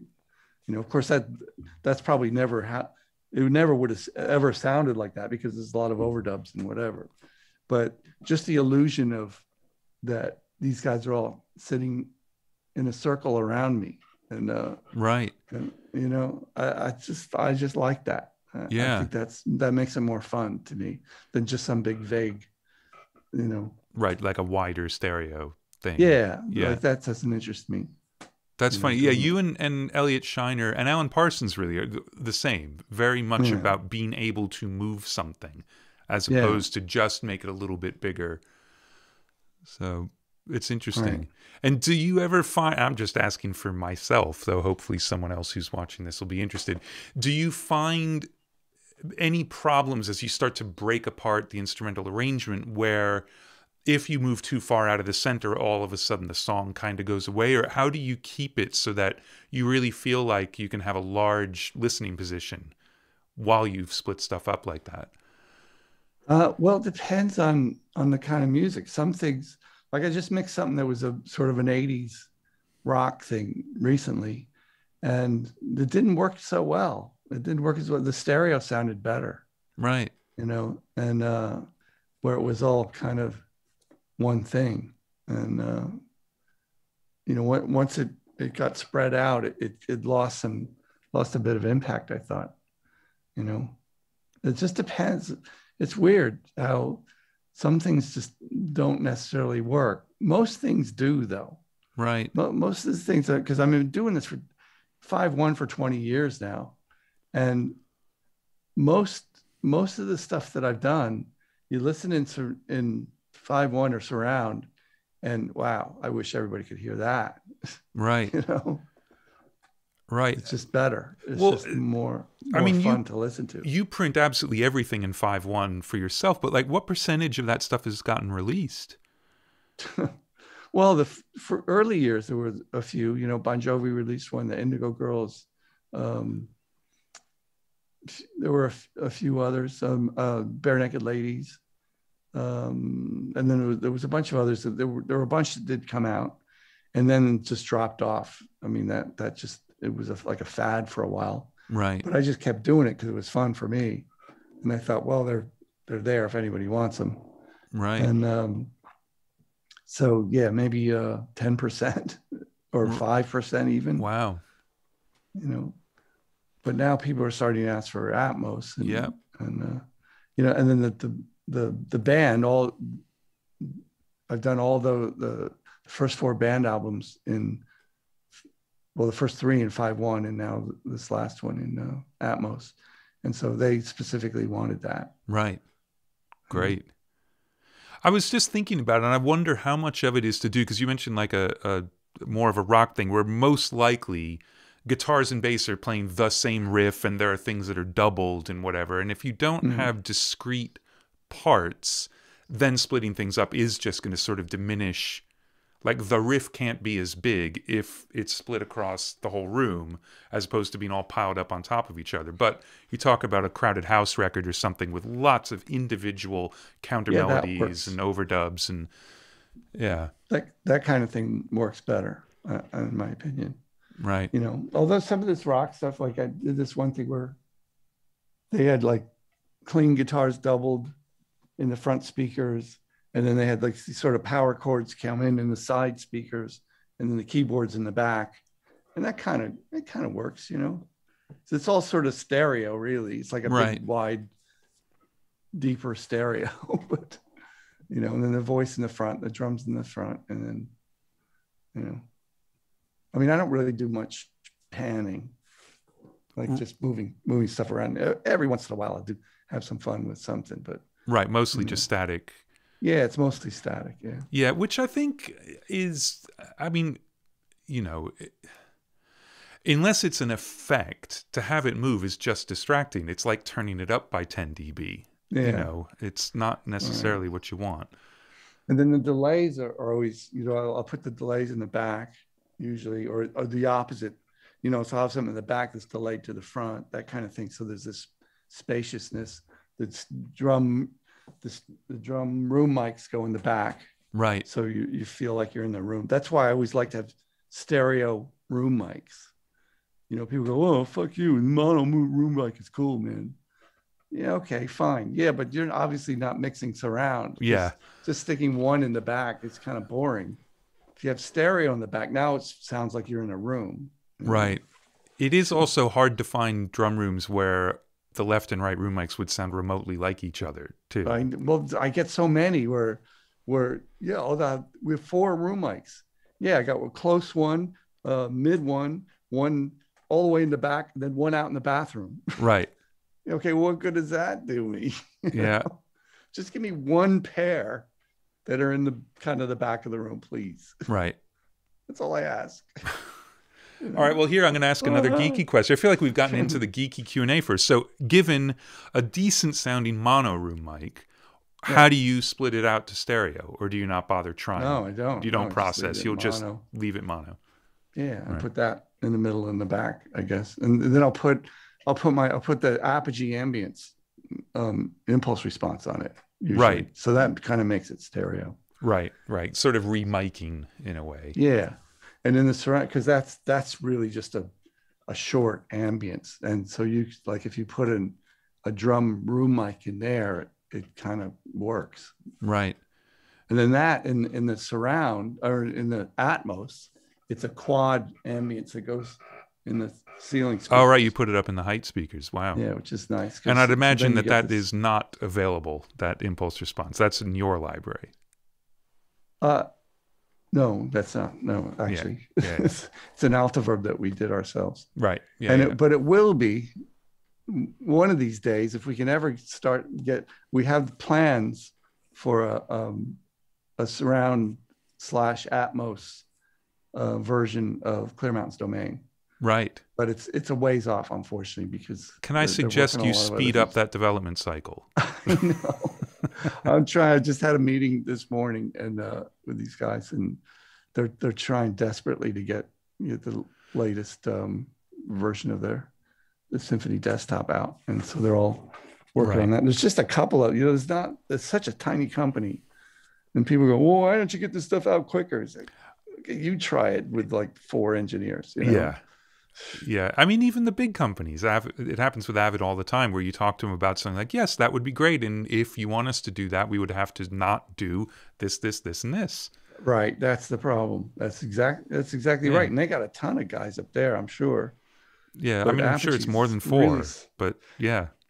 Apogee's really small, and you know, and they do it all in house. So you know, they, they have a couple guys that they that they couple contractors that they hire outside, but they're just one or two engineers. Really, they're not. It's not like a whole. you know, you got like forty engineers working on something. Right. That's, that's not it. so with the plugins that you've worked on with them are these things that they have said people are going to want these and then you can help or are you building plugins that you want to exist No, no, it's stuff that I want. Yeah, this. Um, I mean, the domain is just an idea that my assistant Sergio came up with. It. He said, you know, it'd be great if there was a plugin that would do because I tried to because he tried would try in the box to do what I do with all these delays and reverbs and things.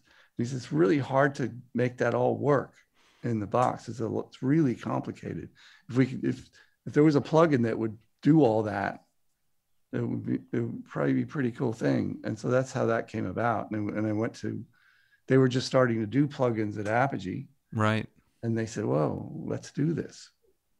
That that was that. you and it is it's pretty great but yeah i mean that's definitely something it gets overlooked for plugins a lot because that was one of the ones i did with waves was the same thing it's not the sounds it's making it's the crazy routing stuff that's happening inside that would just it would take you 12 auxes and a bunch of sends with cross feedback and you'd just get yourself into trouble so contain really it a couple of knobs Yeah, and then the next version is going to be a, quite a bit more.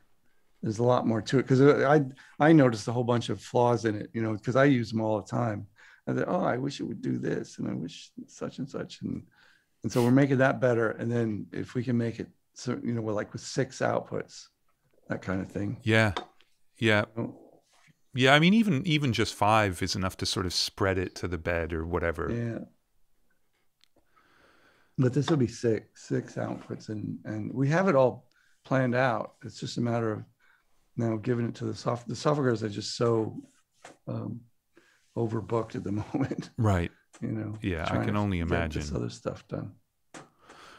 It's a lot to do. So look, um, there there are other records, but it just seems silly for me to just keep saying band names. So I've got to have left out some stuff that is like, what are some highlights of the last ten years or so that you think like, man, let's talk about that record. I know I'm putting all the work on you, but Well, the uh, two the, the two Shawn Colvin records where I thought, thought were Mm. really good. You know, it's a few small repairs.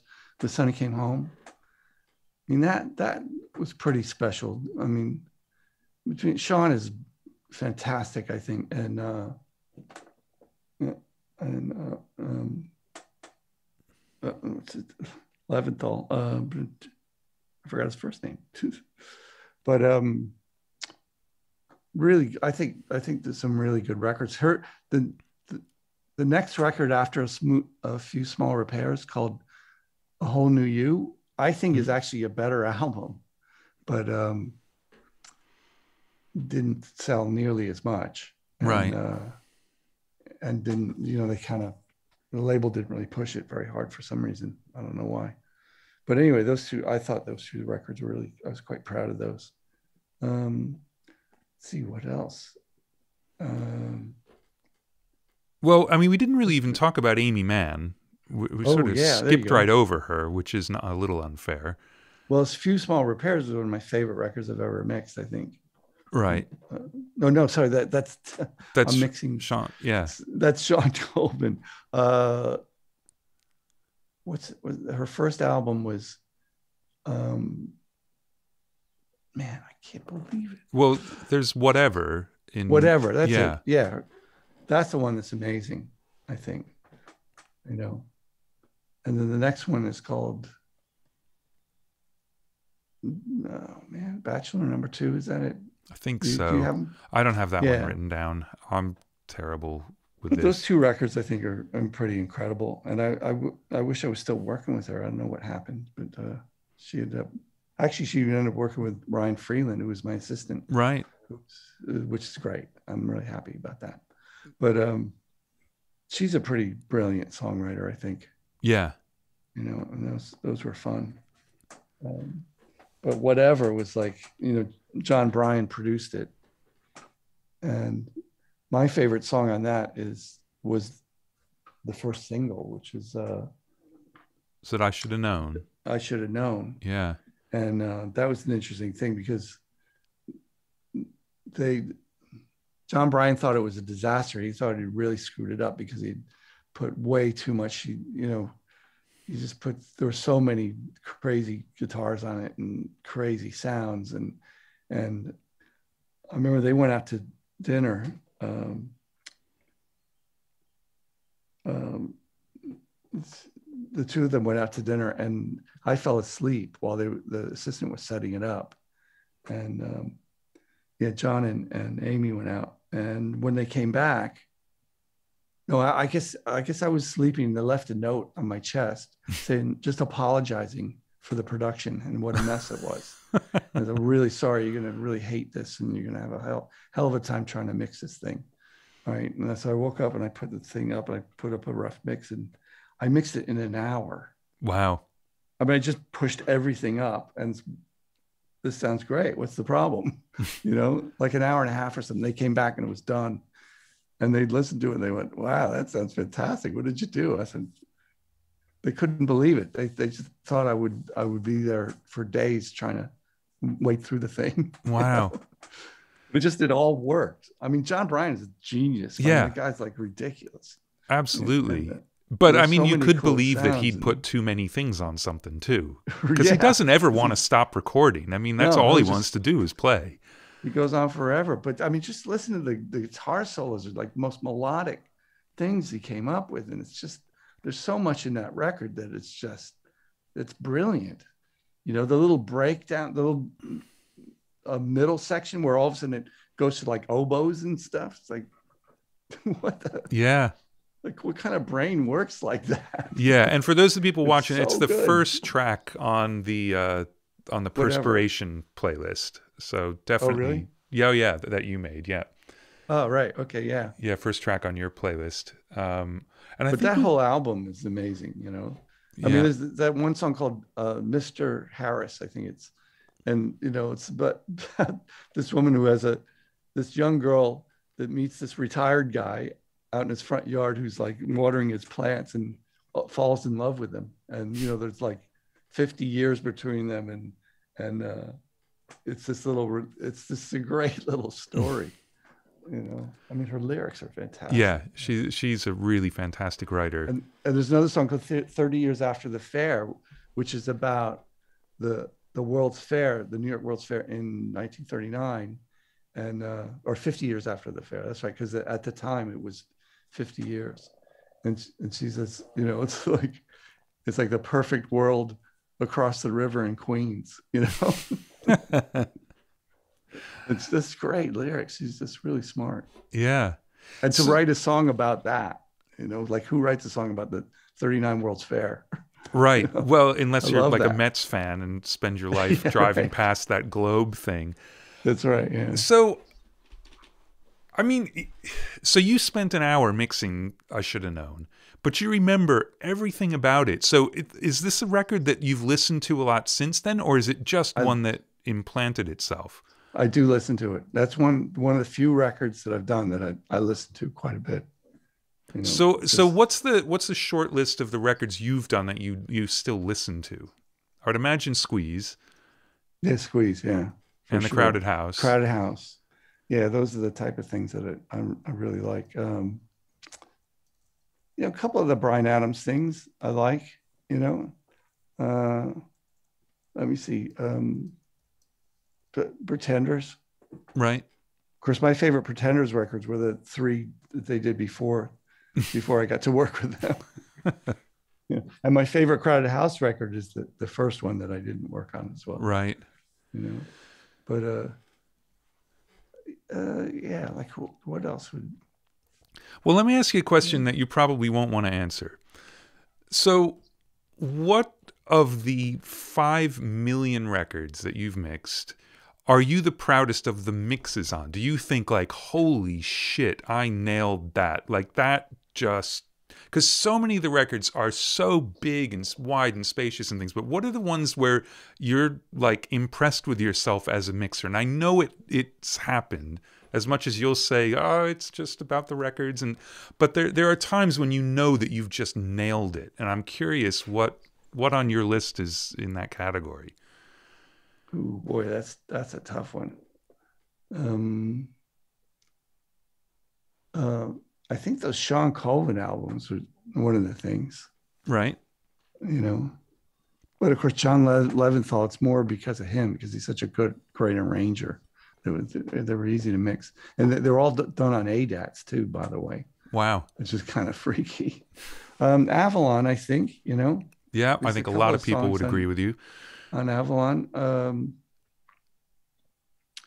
let- let's see. Uh, uh, boy, that's a that's a tough one. i But- know i mean um, um, but you, I sent you a list of things. Yeah, well, you sent me a, a list of the stuff that you worked. So on the list is Aimee Mann, Crowded House, Pretenders, Bryan Adams, Springsteen, uh, Tougher Than the Rest, Small that's- Stars. that's- we haven't talked about Small Stars. Oh, oh, that's a good one. All right, let's talk about Small Stars for a second. You probably never heard that. I'm sure. I have not. No, not until you sent me the list. Yeah. Okay, that's pretty obscure. I mean, that's a, a guy named Miles Zuniga from um, Fastball. Remember the band Fastball? Yeah. they had a uh was I can't remember. They had a big hit that Chris, I think Chris mixed. And um but then I mixed the next couple albums for Fastball. And then there's this offshoot that that Miles did called The Small Stars. And and they were like it's almost kind of like the Ramones where they they were all characters. They they were they, they, they this band of, of people from they were like losers basically th- they're characters, of course, from um, they're not just gamblers from Vegas, but they they're from Reno, right? And and so it's it's that sort of vibe, and they all they all had character names. I can't remember what what they were what their names were, but um, and it's just this fantastic album. I mean, that Miles is brilliant. He's another brilliant songwriter that, that nobody knows about. You know, he, he lives in Austin and uh, he just makes these records. Every now and then he'll call me up and say, look, I, I made another record and uh, you, you got to mix this for me. And, and I just, some of my favorite stuff to do. And it's completely obscure and uh, really fun. And this, the, the, that one album, the, the Small Stars album, it's got a ba- a song called "Let's Hit the Town," which is just should be a should have been a huge hit, and uh, they actually played at one of our Apogee parties. All right. just people loved them. Yeah, it was just one of the biggest, huge highlight. Yeah, and then they, they you know, they're not together anymore. I don't think, and uh, nobody paid that much attention. Right. That's and it's shame. too bad because if you the, the, the album is called Tijuana Dreams. If anybody goes and finds it, I mean, it's on Spotify, Right. you know, but please listen to it. Yeah. And Mark, we'll pop that in the chat so people remember. But it, yeah, it's the, that entire album is, I just think it's fantastic, and I'm I'm also really happy with what I did on it too. right. Good. Well, there we go. We got one out of you. The Yeah. which is good. Now, another one that we haven't talked about that's on that list is Altered State, oh yeah, The Ghost Beside My Bed. Oh yeah. Do you know that record? No, I didn't. I had not heard it. No. Yeah, well, they were originally called the Acid Test, right? And then somebody else had that name, and so then they had to change it to Altered State. And uh, they're just a rock band from from Los Angeles, and they were really good. Another Tony Berg production Right. that I mixed at Bearsville, and uh, and this Ghost Beside My Bed is this. I mean, it's about a ghost beside his bed. I mean, basically, that's what it's about. And you know, am, am, am I dreaming? Am I going crazy? But I, I, what's happening? You know, and it's it's got crazy effects. I mean, just really a fun mix. I mean, just one of those things where, okay, what wacky thing can I throw into this? Mix? Right. and the band would luckily they were into it and it's just so much fun and one of the most amazing guitar this guitar player in fact it's funny because at one point on other another song in the album i pushed this piano track up and it sounded like he had uh, MIDI'd it with a string synthesizer, right? I go, what do you get? Some kind of MIDI thing going? He goes, oh no, no, no, that's just the piano with uh, my PCM 70. Uh, I go, what?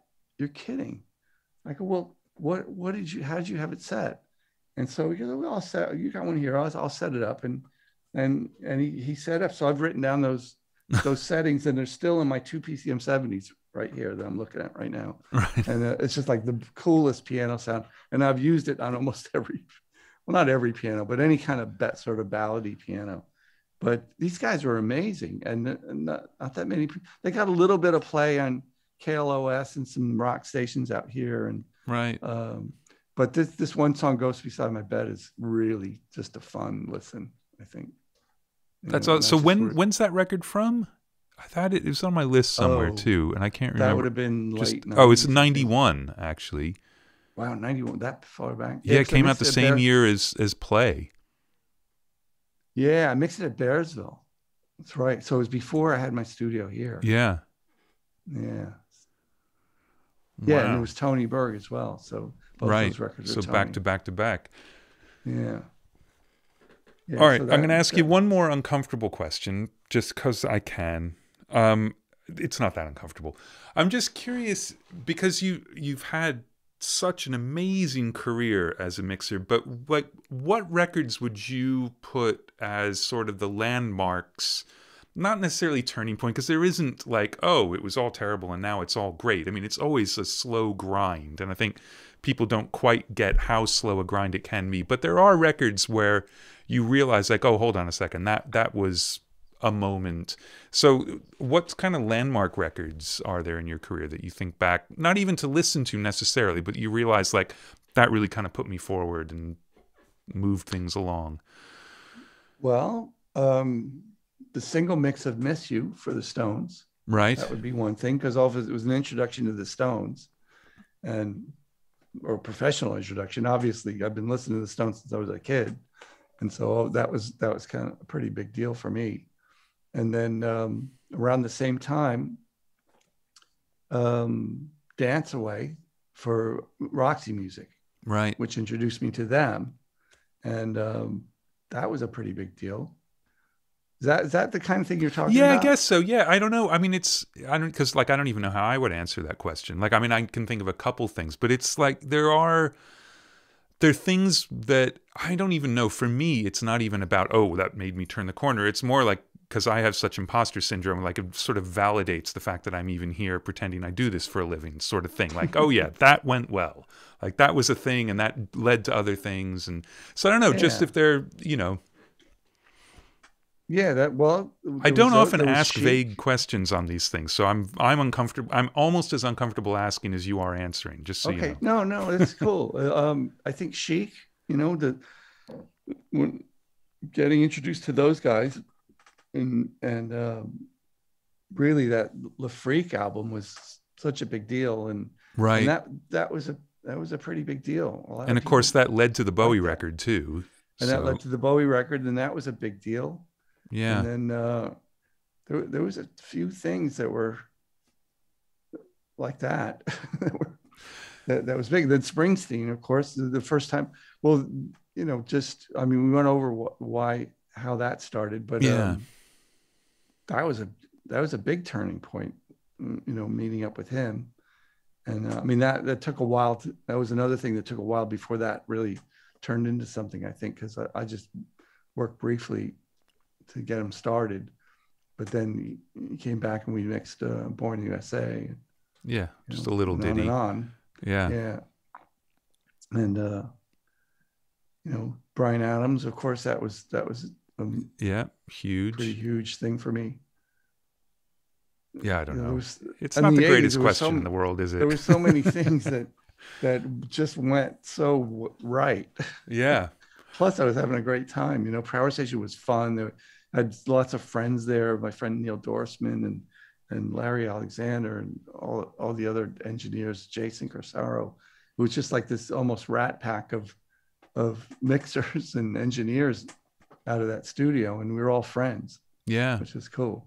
Yeah, it is an amazing group, and there were there were a couple of groups in New York that spawned around the same time, and it's just incredible how many people there were Yeah. at that time. It's really amazing. Um, all right, I'm going to ask you one more dumb question, and then we'll let Mark come in with the uh, the the Q and A portion of things, which is so you've worked with almost everybody. Is there anybody that's still making records now that you really want to work with that you haven't yet? Is there anyone you hear that like, oh, definitely want to do that? I would imagine maybe Alabama Shakes. Yeah. Yeah. I'd love to do do something for them. That'd be that'd be great. They're really good. Um I mean U2. I never You- really got to do any I mean You're one of the them a little- few people I've interviewed who hasn't worked for U2, which- is Yeah, crazy. right. yeah. I know I mixed one thing for U2, but it was it turned out to be was the wrong thing or something like that. I don't know. Um, but uh I mean I know Bono a little bit, you know, I've run into him once in a while. But uh so that that would I've always loved them. And um let me see. So, any, uh, I don't know, you know. I'd love to do something way out of my wheelhouse, like like Taylor Swift. You know, right. that that might be interesting. I think I could I could make a great record with her. I mean, just which that thing that she did on on the Grammys recently was pretty cool. I mean, that was the only I thought one of the few good things on that show. Right. Yeah, I haven't. I haven't She- watched she was- that. I should probably. was pretty. It was tough to watch. The whole show was rough to watch, but she was very good. And um, um, there's a few. There's this girl. I think I mentioned her, Margaret Glaspy. Did I mention Yeah, her? yeah. You mentioned her last time. I'd like yeah. to do something. She was really good, but I don't know what happened to her. She, she did one album, and I haven't heard anything. I, I should probably do some res- research. You do all this great research. I should be like you. And Well, I, I don't look at anything. I just sit here and mix stuff. Of course, my I'm last few questions make me feel like I haven't done any research at all. But I just like I, it just feels so ridiculous to just go, okay. And what was it like to work with? You know, I feel like um, Chris Farley. You know, like how was it working with Paul McCartney? Cool. All right. Great. How is it working with it? Because, like, I mean, there's the Phil Collins record, the Plays Well with Others record. We didn't even mention that one, which What? you've got a mixing credit on that, supposedly, according to the internet, but maybe not. Um, what what record? Phil Collins Phil record, Collins? yeah, for the recent one, the plays well with others that he did No. a bunch. All right, see, that's why I didn't want to do it because I thought, ah, what if Yeah. it wasn't? All right, what about Metronomy? That yeah, I did. Okay, so that you Uh, did, but that's the thing. Like, we get where my research just is like, well, is your research correct or not? Okay, that one was incorrect. so, uh, I know it's weird that, that how does that stuff happen? I wonder. I don't know. I mean, I I think at, this credit for point for you, it probably you're the autofill for mixing. You know, Maybe, but it freaks me out because like to me the the worst the worst thing is getting credit for something I didn't do. You know, I just well, that I hate the thought of that. But I think the the thing is, and this is the problem with it, is that nobody trusts the credits on the internet anyway. So, you know, the only way you can check it is to try and find a physical product and see if it's Mm. printed on there. But I, I thought I thought any everything on the internet was real was right. It's well, I mean, as Abraham Lincoln said, if it's on the internet, it's true. Yeah. Didn't he say that? I'm sure Yeah. he did. I read that on the internet. Yeah, absolutely. that was one of my favorite little internet memes. That's good. So, uh, Mark, you want to come on in here? I'm sure there there are a million questions that are better than mine, but also I want to make sure that um, both of uh, Bob's playlists get put up in the chat, you know, so people Yes. can check them out. Because I know we posted them last time, but both lists are are great, really, really good. Yeah, those those are in the chat there, guys. Um, yeah, cool. This has been really, really great. I'm I'm really happy that you were able to do a part two and make that happen. So, And this Yeah, gets us up over the Great. five hours aggregate, which is like that's the baseline for these interviews. Yeah. So Okay. yeah, yeah. awesome. You survived. Okay. Um, so our uh, real quick for anybody who hasn't seen before, the way we run our Q and A portion is uh, we have a um, a stream going on Crowdcast, and Crowdcast has an Ask a Question section where you can put your question in, and then everybody else can uh, choose to upvote your question. So we always start with the most upvoted questions. And our first one comes from Louis, and he says, Hello from Watford, England. Uh, two of my favorite mixers. Mr. Clearmountain, can you recall your thought process behind your mix of The Cure's Just Like Heaven? The single's quite different from the album mix, and I'm wondering if your decision to move away from the gated snare was driven by Born in the USA. Thank you both. Which we talked about a little bit last time. Uh, Away from the gated snare. I never heard the album mix, so uh, I should have because I was a fan there, so I should have heard it. But um, Well, the album Yeah, mix may not even have been done when you did the single mix, right? I mean, yeah, I don't know. I didn't know there was a different album mix, actually. Um, so wait, the well, what was the question about the gated snare again? Uh, was your decision to move Uh, away from it based on, I from it? guess, based on Born in the Based on USA? I, I, in the USA. yes. I don't, I don't know. even understand the question to be honest, but uh, I don't know. It's just uh, yeah, Yeah. I didn't think it needed a gated snare. Did I? I don't think I did it. No, I think I think that was his point. Is that right Yeah. around the same time you've Right. done gated snares elsewhere and didn't do it on this one? But I mean, I think Well, I, it's like everything's different. You know, I don't yeah. Ju- just go, oh, this is the thing now, so I'm gonna put this on every record. Well, that's You know, I mean so that was what- the really funny song thing with uh, with with Daniel Lanois telling Robbie like, "Oh man, he's gonna put gated snare all over your record." Like, Yeah, no, right. no, he's Yeah. not. That's not how it works. Right. No, that's not what I do. Right. yeah. So, is there anything anything you, You remember the about record. What does it need? anything in particular about that mix or? Um, uh, I really liked the song, and uh, I don't remember anything specifically about it, unfortunately, except you know, um, I think I did. I probably used, might have used a snare sample, maybe. I, I just don't remember. I don't remember what I did, but uh, Yeah. I just tried to. I just liked it. I mean, I, I was a fan of theirs Yeah. you know one of my favorite records is uh is what close to you uh, or close to me or is it close to you i think it's called close to you for Right. one, one uh for one of their records and um yeah i wish i could remember more but it certainly it certainly had nothing to do with mixing Springsteen for Right. sure Yeah. yeah Um, sort of to, to piggyback off of that question, uh, do you remember maybe about how long that mix took? Eh, no probably six Yeah. hours maybe five or six hours probably Yeah. i would think Yeah, I mean, was I'm just, thinking guessing. because, right? Yeah, so many of the questions are always about um, uh, specifics to each individual mix, and it's it's a, also a thing where it's like you might have only lived with that song for you know six hours, maybe not even a full day in some Right. cases, and then to recall these tiny details of a small period Yeah. of time is really difficult. Yeah, That's that's the thing. Yeah. yeah. I mean, I don't remember if, if it was. I'm sure it was analog back then, but it was probably 24 track. I mean, I don't know. Yeah, I mean, I'd imagine you, probably remember more about the phone call saying, "Hey, you want to mix a Cure song?" than Yeah, the actual right. mix. Yeah, exactly. Yeah, I'm like, Yeah. yeah, sure. I'll mix it. Of course, I'll mix a Q. Yeah, Q- you've had a song. lot of really cool phone calls. yeah. or emails in the last Yeah. 15 years. Yeah. All right. Well, I'm gonna Is I'm gonna a- piggyback off that like a- question. Sorry. Oh, Um, go for it. Um, no. So obviously, you've gotten to the point where, with even with the SSL, I would imagine recalls can happen very, very quickly in your Mhm. studio. Are you still mixing a song at a time and trying to get it finished, or are you succumbing to people's wanting to kind of go in circles where you end up kind of mixing the whole record and then doing recalls on the whole record at the end and things like that? Um, no, I try to finish each each song. I definitely try to try to finish each song. And then um and then if something needs to be changed, then I'll do a recall. You know, it's not not a problem at all.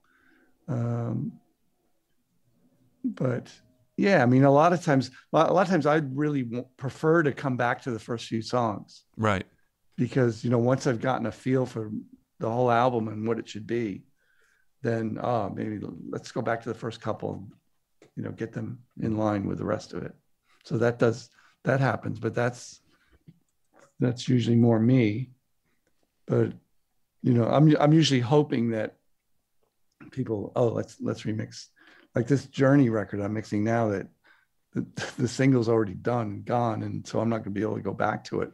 Kind of wish I could, but I don't know. I th- it sounded pretty good. I I'm sure it sounds with it. all right.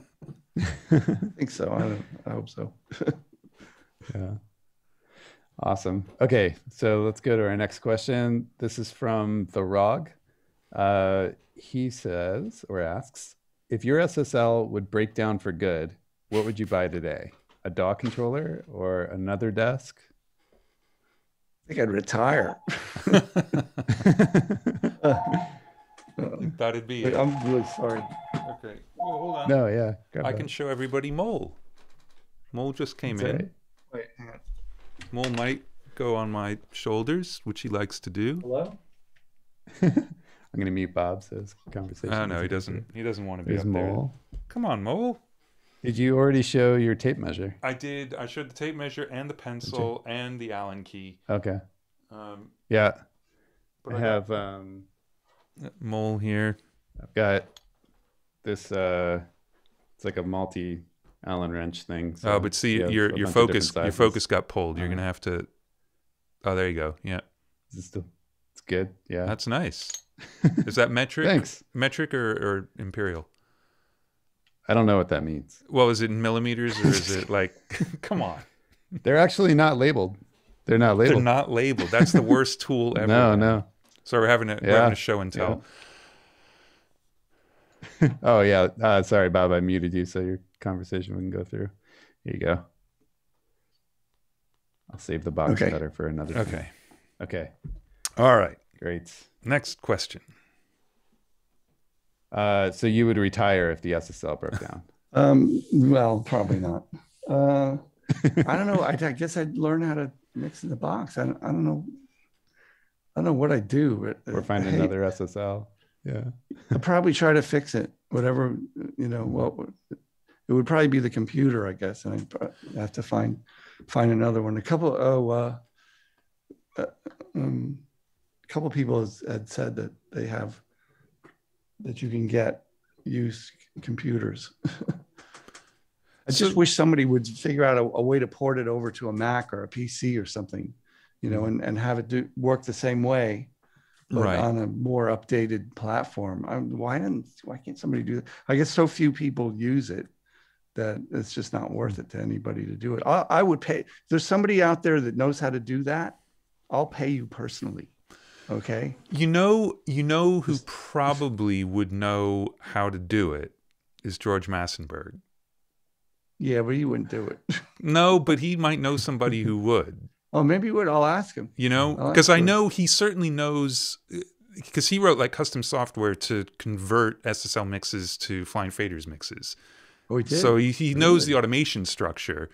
Ah, So he pro and this was a like for a Bruce Swedien thing because he wanted to be able to move back and forth between the two consoles at Record One, no kidding. which was insane. And George just came over and like ate some cake and wrote a, a thing. Now that may not mean he knows anything about the structure of the computer itself, but considering he made his own automation system as well. right. Anyway, Wow. I'd say call George. That's what Yeah. I'd say. But let me ask you a question. So obviously you're very, very, very used to the SSL and Yeah. you love that EQ. But would you say that it's as much sonics as it is logistics at this point? Because I'm sure you're doing more and more processing in the box because stuff comes to you processed and it's some of that stuff is easier. So which part of it would you miss more, do you think? I think I think it's the automation I would miss more. Right. You know. Yeah, because I mean, there's there's a yeah, I could probably EQ in in in the box pretty much and do compression and things like that, and from my the outboard gear that I have, and um, so it's really the mix automation is is such a pleasure to use, and and it's so musical, and just the way it works, and uh, sort of effort effortless, and that that's the thing I would you know it's funny because most people don't even use the auto, this automation. They certainly don't use it the way i use it. Right. and um you know, and I, I, I don't know. It just seems like if people understood what that was, what an incredible tool it is, nobody really remembers, I guess. I don't know. Well, and also we were talking about it before we started. You do use it differently than most people. Like you hate moving faders. You're Yeah, right. VCAs all the time, so the faders never move, and it's a that's a really different way of working, even for an SSL. Yeah, it's just that uh, once you understand what the advantages of that, it's like you, you never want a, a fader to move. Right. you know, seems to me anyway. I know you think differently, but No, uh, no, no, sure, not at all. I mean, a- I, just yeah, I've just never worked that way.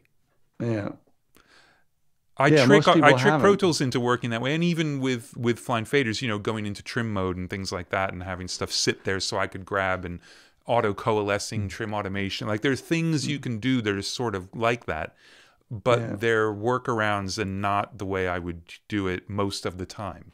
You know, right, yeah, yeah. But anyway, I would just wish somebody would do that. And then there's you know there's a couple things that have always to me have always been wrong with the software. It's always been like a I call them bugs and they call, call them features. Right. of course, that kind of thing that I would change. So like if somebody would update it, I'd say, okay, now change this thing. It's has always driven me nuts. right? but um, but that it would, uh, uh, I don't know, it'd be so great. I talked to that Tangerine guy, you know, that Mm. company Tangerine. no, Well, they do a, a system where you can, it's basically you're running Pro Tools automation from the SSL, right, right? And so you feel feels like the SSL, and you're using the little keyboard thing, but it's actually doing in um, pro. It's running the Pro Tools automation, huh? and it's you know, it's kind of a kludge. And uh, a bunch of studios have, have gone to that that have SSLs that, and and the thing, what's nice about it is that somebody can have an automate all this automation in a Pro Tools session, and then it it, it runs your your your SSL. You know what I mean? Right. You can you can update it on the SSL, but um, it's not really the same automation. doesn't doesn't do doesn't playlist um, mix passes, Right. which is one of the things that I hate about any other any um, automation besides this, is that, that you can actually keep as many mix passes as you want, and you can edit between them. Right. And Well, there's no- Flying there's Faders no does autom- that. Yeah, okay, yeah, flying faders maybe, Yeah. yeah. probably does do that. Yeah. But um, although I don't know, I can't I can't figure out how to work flying faders, but But, Next time um, I come to LA, we'll we'll spend some time. but Pro Tools that definitely doesn't do No, that. no, no. I've got some really weird kludgy hacks to make it Yeah. somewhat easier, but no, Mm. that that's not a concept in Pro Tools. Yeah, right. And it's just something I'm, I've always been used to doing, you know, Yeah. in the old days. anyway, good. So go, let's move on. What Yeah. else? What else Yeah. you got? Yeah. Uh, okay. So the next one is from Santiago, and he says, I've noticed that you ditched the NS10s a few years ago. Uh, why the change? And what do you think of the massive amount of options there are for near field monitors compared to when you first picked the NS10s, which weren't even marketed for audio professionals at first? So, NS10 question. Um, well, I kind of got tired of them, I guess. I mean, I could still mix on them, I, I think, but then what happened is I, I found these speakers, these little Yamaha that you can't get anymore, these YSP sevens, and and I just liked them better. They were very similar, the same, basically the same size, and but they just sound a little nicer, but they kind of did the same thing for me, and um, so that was it. I don't really have any opinion about how many different kinds of monitors there are. You know, it was a little bit. It was interesting that that Chris Lord Lord-Alge went out and made, built it, or had somebody build his own um, NS10, Yeah. and uh, I thought that was sort of fascinating. Yeah. and you know, if I, if I, if I was going to make a new speaker, I wouldn't, wouldn't make the same one. I would come up with something that's better. It's the sound of hits. yeah.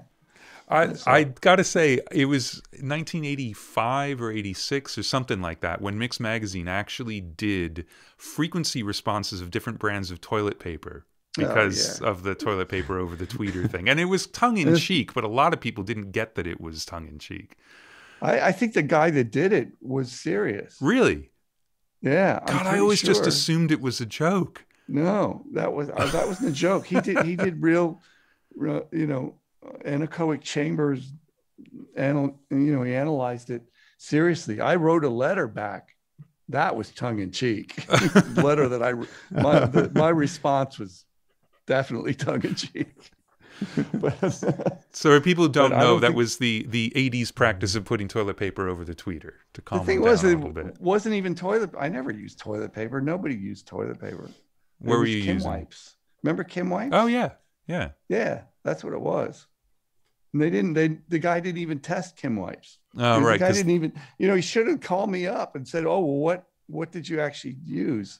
We could have talked about it, yeah. but you know, So- never heard a word about. it. What led to that? Like what? What made you decide to put a chem wipe on there? Well, they were too bright. They were Right. just too. They were just too bright. And what happens? I did a mix on them, and um, took took it home, and my mix was dull. Well, well that's no good. My mix uh, it needs more. My mix needs more top end. So obviously, I'm hearing too much, too many highs out of the tweeter. Right. So I asked the guys at Power Station. I said, "Could you stick something in that tweeter to tone it down a little bit, and, or adjust the crossover somehow?"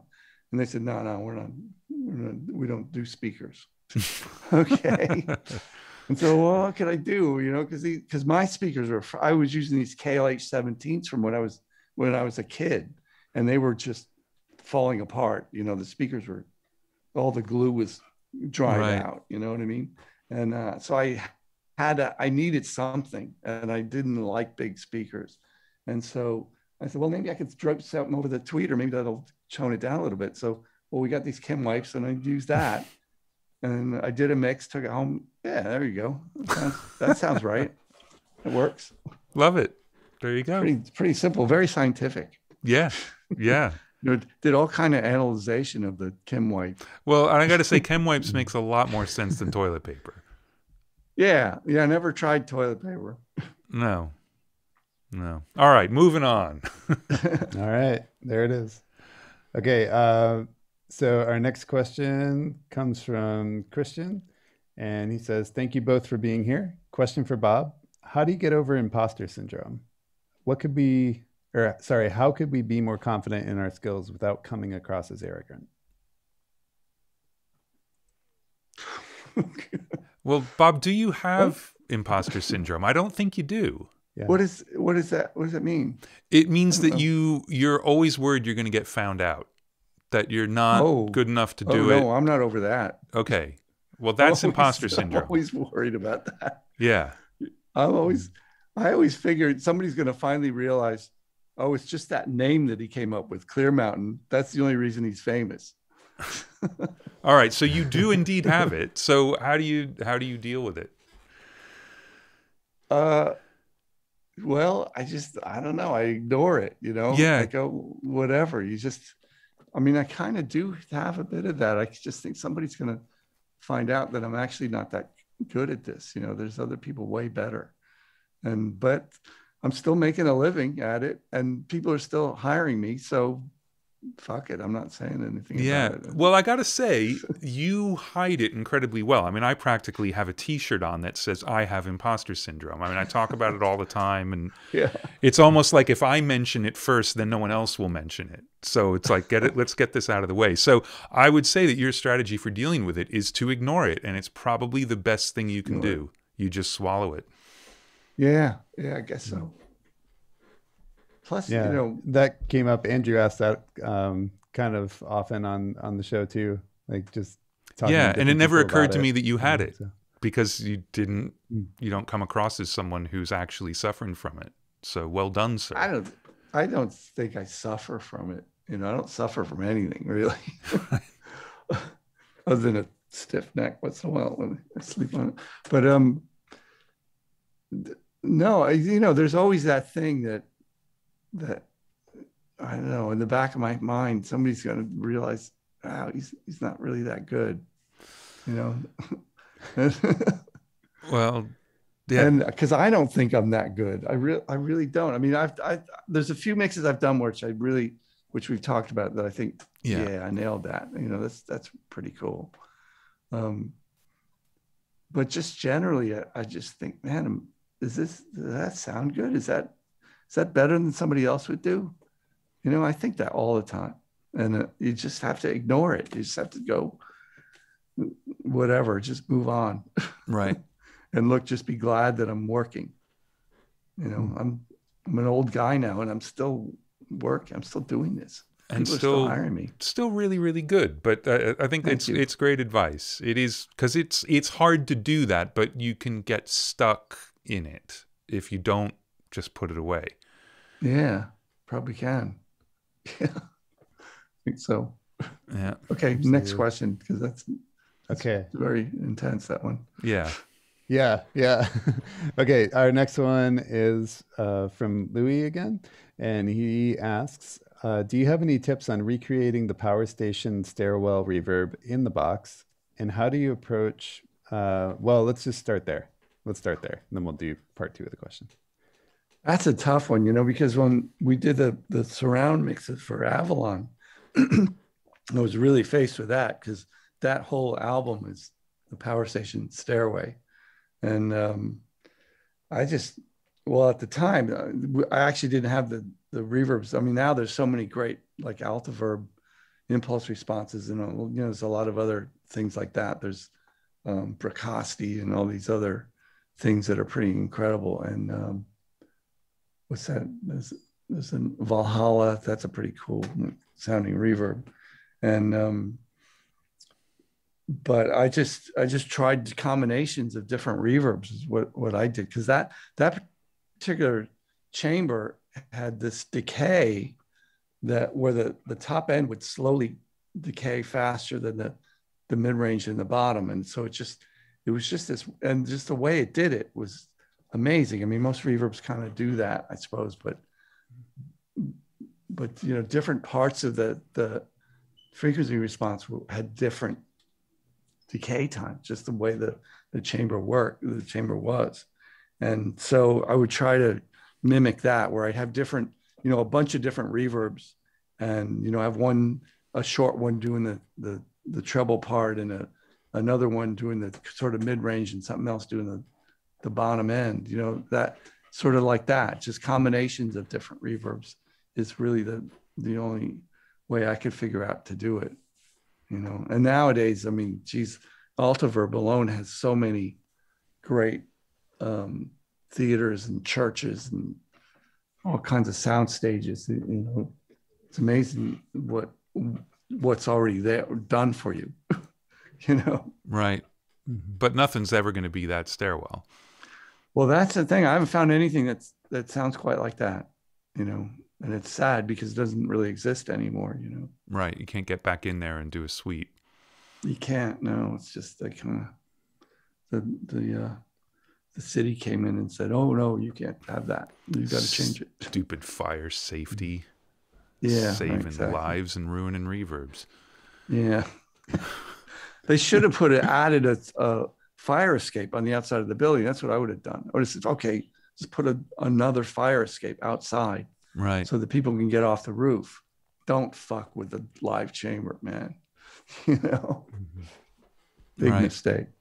I tell you the story about what it was, it was actually Journey that I was mixing when I discovered what had happened because I was I had been working at other studios quite a bit, and then Journey asked me to mix this record called Raised on Radio, and we did it at Bearsville. And there were two big power ballads. I said, look, we should go down and get the live chamber at Power Station, do these down there. So, you know, I put the thing up and I, I said, okay, let's hear chamber one. And the guy, the assistant set it up. And I said, no, no, chamber one, that's not chamber one because it just sounded terrible. And uh, no, no, it is. Well, check your patches. Check the patches. No, that's right. I checked the patches. It is. That's right. It's because they had a little thing on the wall that said what chambers you had in this little display. And uh, so I went, oh, well, let me see what's going on. And I walked into it and and I saw what they had done. They had extended the, the concrete and steel stairs to the roof. and they put another, uh, it just didn't. It just it sounded terrible, you know. And uh, you know, I went in and yelled at the owner, Bob Walter, said, "What the fuck did you do? How did?" No, no, they didn't really change it. They just put a little ladder in there, right? He had no idea what they did. Wow. He never even looked at it. You know, I said, I said, why did you let them do that? You know, I was so angry. And so I took the, I think, I, I don't know what I did, but uh, I don't know. I can't remember what I did. I think I, I just got out of there. I was so angry. you know. Right. Wow. It And it's- wasn't as, Is this wasn't something their that they could fault. Undo? I don't know. Well, they probably could, Yeah. you know, but I don't think they're going to do that now. no. Now that- Yeah. And it's probably kind of the beginning of the end of different studios offering different things for mixing. Because yeah. I mean, obviously, the recording rooms it's still different in every studio, but at this point, Mhm. what would be different? right. yeah, exactly. Mhm. So, yeah, I know. And something Yeah. like that. It's a, you know, I mean, there's so many things in the box. There's some pretty, pretty great reverbs. yeah. Jeez, the phone keeps ringing. I'm so sorry. that's all Just, right. just take take a second. Get on, get rid of this. Yeah, no worries. Hello.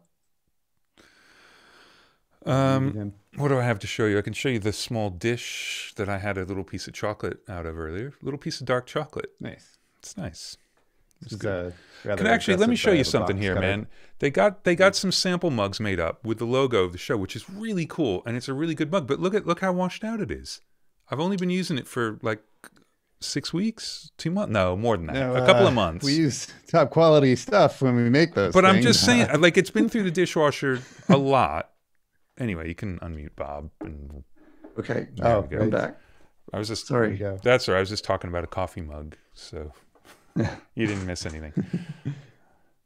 Awesome. All right, you got well, time for a couple more? To, uh, part two of the question um, from that one. So uh, his other part of it was about Avalon. Um, so he was saying, you know, any tips on recreating that stairwell reverb in the box, and how did you approach the panning of the reverb on Avalon? Each individual element seems to have its own localized reverb tail that spreads to the opposite side of the stereo image. It isn't all just one big mush, which is incredible given how wet the record is.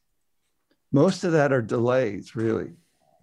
You know, and then sometimes I might have, I don't remember, I might have used a couple of plates or something and put them on different sides and set things across. But I, I think most of it are, are, you know, I did a lot of delays that crossed over, you know, that would, I'd send something from the left over to the right, thing, things like that. But um, that's, that's about it. I mean, But that that's a really important point, and I think it's something that it doesn't get taught really. It's the psychoacoustics of mixing because by having the sound have a drier delay, it drags the reverb with it, so it makes you think that the reverb is moving even though it isn't. That's true. Yeah, that's a good point. Yeah, because I'll put put reverb on the delay. Yeah, know, but that reverb that's is the- isn't going to be localized to only be there. It's still going to spread no, out. no, it's gonna be stereo. yeah, Well, that's the thing with the with my plugins that, that you can put reverb on the on the output of the delays, and so that that does that. So and then you can cross them, but then the reverb is really stereo. right. But then you can also pan the reverb. You can put the separate the reverbs too if you want to. But you know, basically it's stereo. I mean, for for people working in the box, one thing that I do a lot, which works really really well, is to use multi mono reverbs because then Mhm. as you pan, it's very very discreet as to where the Oh, reverb is showing up because it doesn't wash back over to the other side. So you don't get a really nice stereo reverb, but you get a pinpoint placement. And if you Right. do something like a delay into an auto panner, it leaves these trails of reverb everywhere that there was a delay. And Ooh, it's that's a good super discreet and cool. And that's really difficult to do in hardware unless it's like a digital reverb that you can have two of. Let me just write that down. yes. That's a good one. It's great. Yeah, multi mono and then just have the pan on the send follow your main pan. Or not if you want to make it, you know, do something else. But Yeah. It's also a great way to add if you want to just set up like spring. You got a bunch of different guitars and they all need a little bit of room, and you want to have them all panned opposite the guitars. If you do it with multi mono, you can just place each one's spring, but you only use two reverbs. Yeah. Right. Cool. Thank you for that. Well, I will use that. excellent. well, the you know the Awesome. the mixed chambers, which is in in the uh, spaces and the domain, it's actually a true stereo reverb because there's two rooms, there's two chambers. Right. and and it's stereo. I use it off of a stereo aux and so I can send something from the left into the right chamber, right, or vice versa. Yeah. Well, that that's exactly yeah. Yeah. Multi mono reverbs. Yeah. yeah, it's yeah, they're two monos, exactly what it is. You know, Cool. Yeah. Awesome. Uh, okay, so next question is from Dusty Wakeman, and Dusty asks, Hey, "Do you Dusty. find yourself using less compression for 5.1 or Atmos?" uh, it's about the same, really. Um, Atmos, you know, I've upgraded my compressor. So you got that done. is- yeah, yeah, it's pretty, it's pretty cool actually. that it's it's actually a 16 channel compressor, and analog analog compressor Wow. now, which uh, Wow. with some help from Lucas at Apogee and Brandon Duncan, my former assistant, and um, yeah, I mean, because it's it's it's really the the SSL bus compressor, and then when we went to 5.1 because there's extra VCAs in the console, which are the same VCAs that are used in the compressor.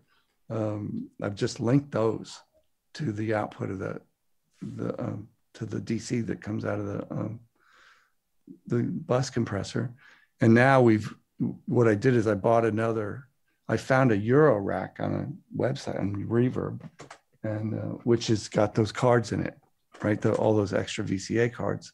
So that's sitting under under the console down there and that's all linked together. And then I, well, there's three controls so that I can do less compression on the sides or less compression on the rear or the overheads. All right. So I Wow. can control how much compression, which is really going to be handy when I start mixing live stuff. Because Yeah. you don't want, you really don't want to compress the audience as much as you- you're hitting in the front. I like to hit, hit it pretty hard in the front. But is the detector still just off the quad bus? Yeah, so so the detect so you have to have a stereo mix. The detector's just looking at the stereo. At the mix. stereo, right? So you have to have a stereo mix going at the same time. Right. So you'd Which I always do. you'd run a fold down, basically. Right. I'm thinking about like for people trying to set up something like that who aren't on a console, it would be that you would have to fold down your surround to a stereo to get things to go, and then you could Yeah. back off how much compression was happening in other places. Right. If you don't have a separate stereo mix, yeah, that's what you'd you'd have to do. Right. know. For for me, I always the stereo mix is come is totally separate. It's coming off off the the pan pots, Right. whereas the the the surround is coming off the bus selectors, you know, through the small fader. Right. and um but uh yeah and it's fantastic i mean it really because you get the same that same feel of that compression in atmos That's awesome. you know what i mean you don't Yeah. lose any of that That's really cool because I've been wondering how I'm gonna do like my seven one four, you know, because mix bus wise, I, there's not a lot of How dynamics processing, but there's some, and that's how is I'll do a little crash down to stereo as a detector and put it into the side chains because otherwise it's all gonna be go. multi mono and it's gonna destroy things. So yeah things will move around too much yeah it screws your balance up but yeah that's how you'd have to do it Right. you know and um uh, what else was we going to say about that? Uh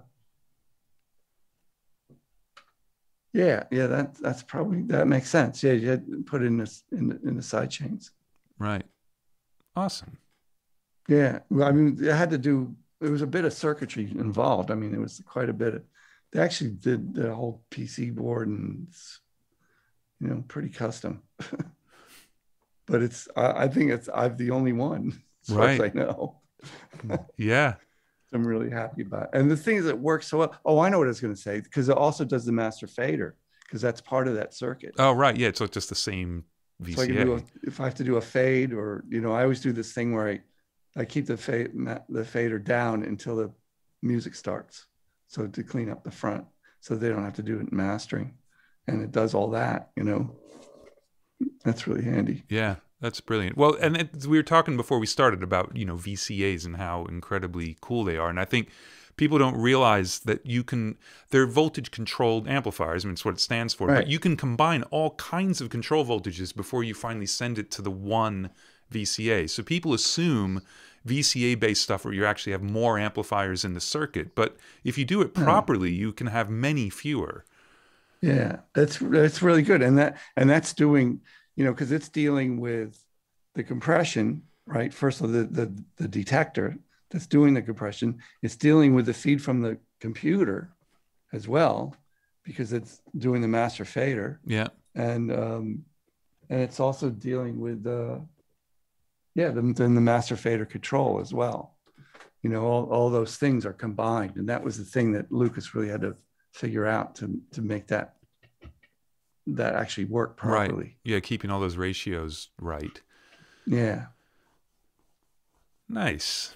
Pretty genius. and then then also I have a rotary master fader, which uh, which years ago I, I discovered I was I was trying to do a fade, trying to I, I was simulating a fade for somebody. Year, this is years ago in the '80s, and and I was doing it on the the monitor control, and oh there you go, just like that. Okay, great.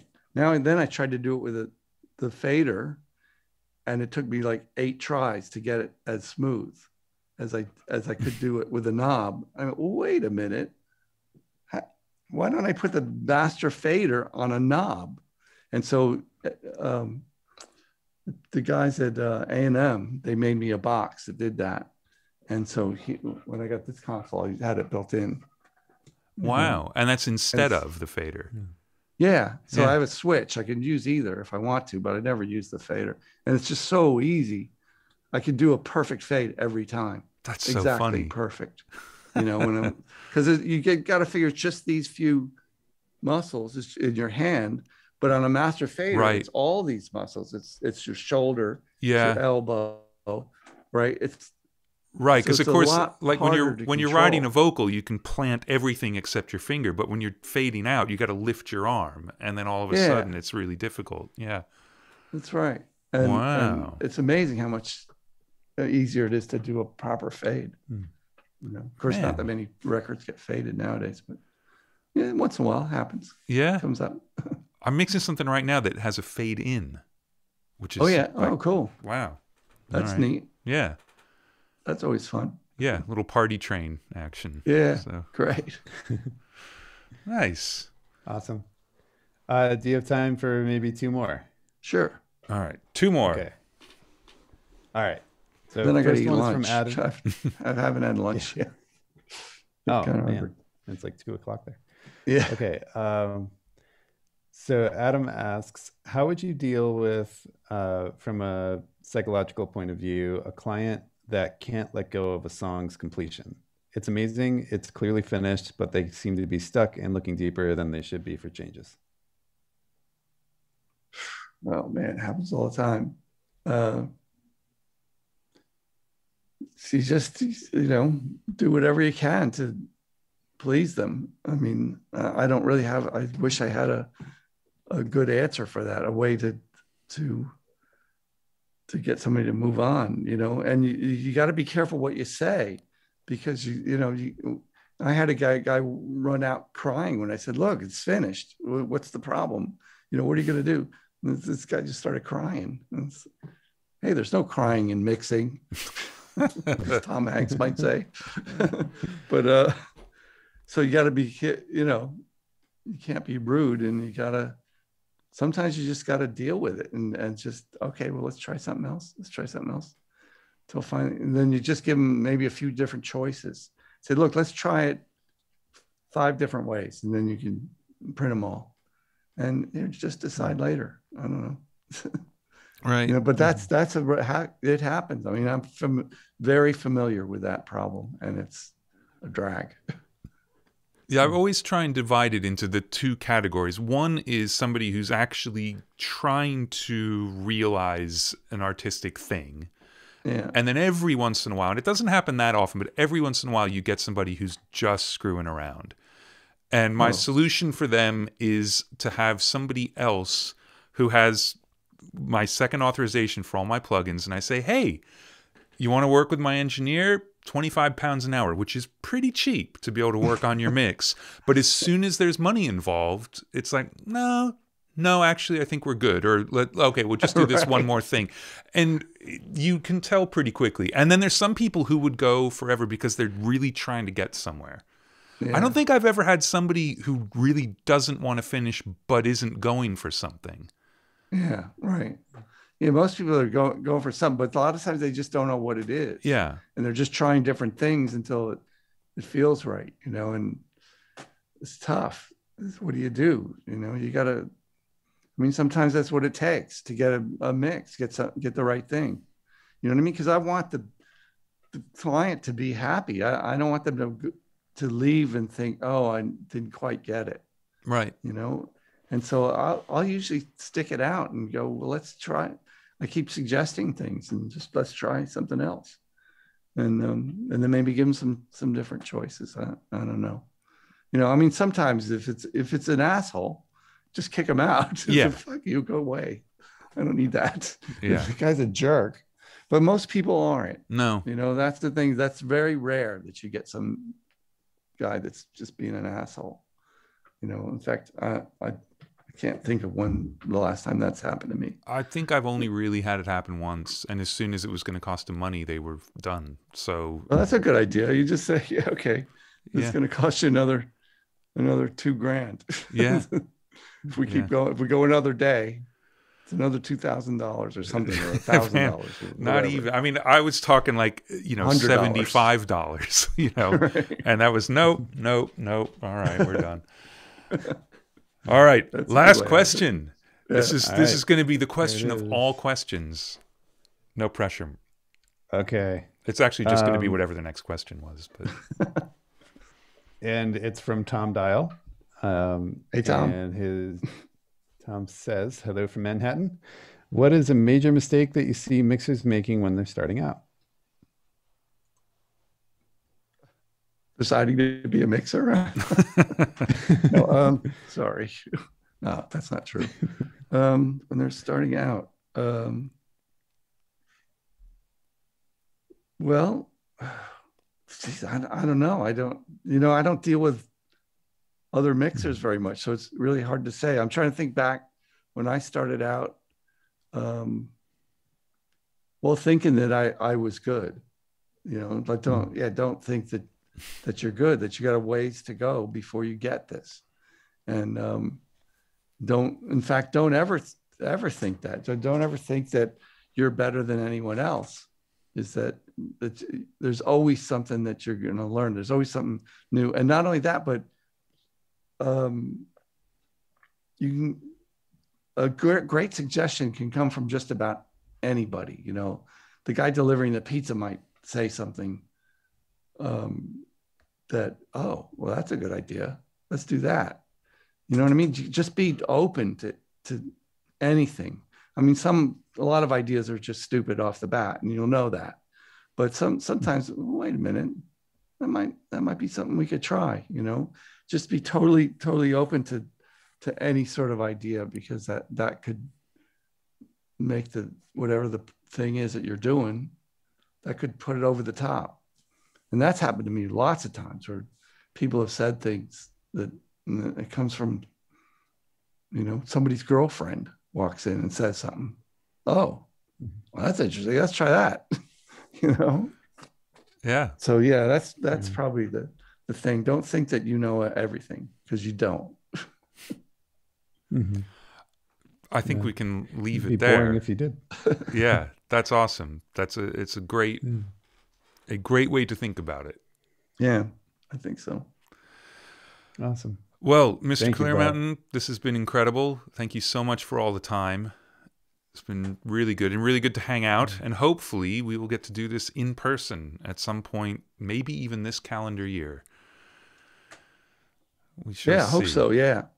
And for everyone out there, if if I sound pretty good other than, than the frog in my throat, hype mic, Apogee hype mic. Hype mic. And I got to say, we got a better angle on it because you can actually see the meter getting reflected in your pop filter. Mm. Oh, great. Yeah, good. But it's got a good meter. And you plug the headphones in there, it's got direct monitoring. So if you're doing a Zoom call or Skype, you can tune, you can hear your out your your own voice back through the through the direct monitoring, which is really great. Now, does it have a built-in pop filter, or do you need an external one? That's my question for you. Uh, it's well, it's got a screen on it, Okay. but it comes with this little pop filter. oh, it comes with it. Yeah, comes with a cool little swivel mount, you know, and uh, it's just this thing is shit, man. It's it. I mean, the shit. I should say, not the shit. No, that's that's what it the really kids is. say. And a lot of voiceover people. Oh, I see your cat down there. Oh, yeah, that's that's squid down there. And um, but anyway, and Apogee. all the way. Apogee, hype mic. Apogee plugins. Try the people don't know about Apogee plugins. The, Pultec and the, the Mod Comp and and and the um, they're just they're so good and people have no idea. So why don't people know? It's I don't know. You know, I don't I don't really know because you know Waves and all these other companies they have big promotions and this and that and Apogee's just this tiny little company. Like like I said, we did a little video and I said, look, Apogee's like it's like Reno, Nevada. Reno, Nevada is the biggest little city in the world. Apogee's the biggest little company in the world. People think it's big because you see Apogee stuff Right. everywhere, but man, it's you know, and the, they make they make these great. They're just a bunch of fan, total fanatics, and it's just so good. And I just have to throw that in. I'm sorry to plug plug my wife's company, but Yeah, no, absolutely. And and yeah, I'll tell you, the stuff. they're running a special on plugins tonight. Buy two, get two plugins. Yeah, great. There you So, go. Yeah. Perfect. All right. pay to pay twice post a link pay double the chat. price get the second one for the regular price Oh, no right. I, yeah anyway all right Oh, i'm gonna good. i'm gonna stop spouting gibberish you're gonna go get some lunch Yeah. um and back next week this it's part two month for people who don't know that so next week is part two with eric valentine which should be Oh, quite. Oh, I should fun in for that. and geeky yeah, it'd be I'll good we didn't that. talk about any of his gear yet so we barely got past smash mouth in part one so yeah we gotta we gotta get to the consoles and remote mic movement he, stands and but he like built his own console or something. yeah right? exactly the undertone Yeah. consoles yeah. Yeah. we're definitely going to talk about those Right. Excellent. so it'll be good but thank you so much again and Thank you. we'll talk to you soon All so right. Thanks, Andrew. Thanks, Thank Mark. you. all right i'm muting and Thank going to the thanks screen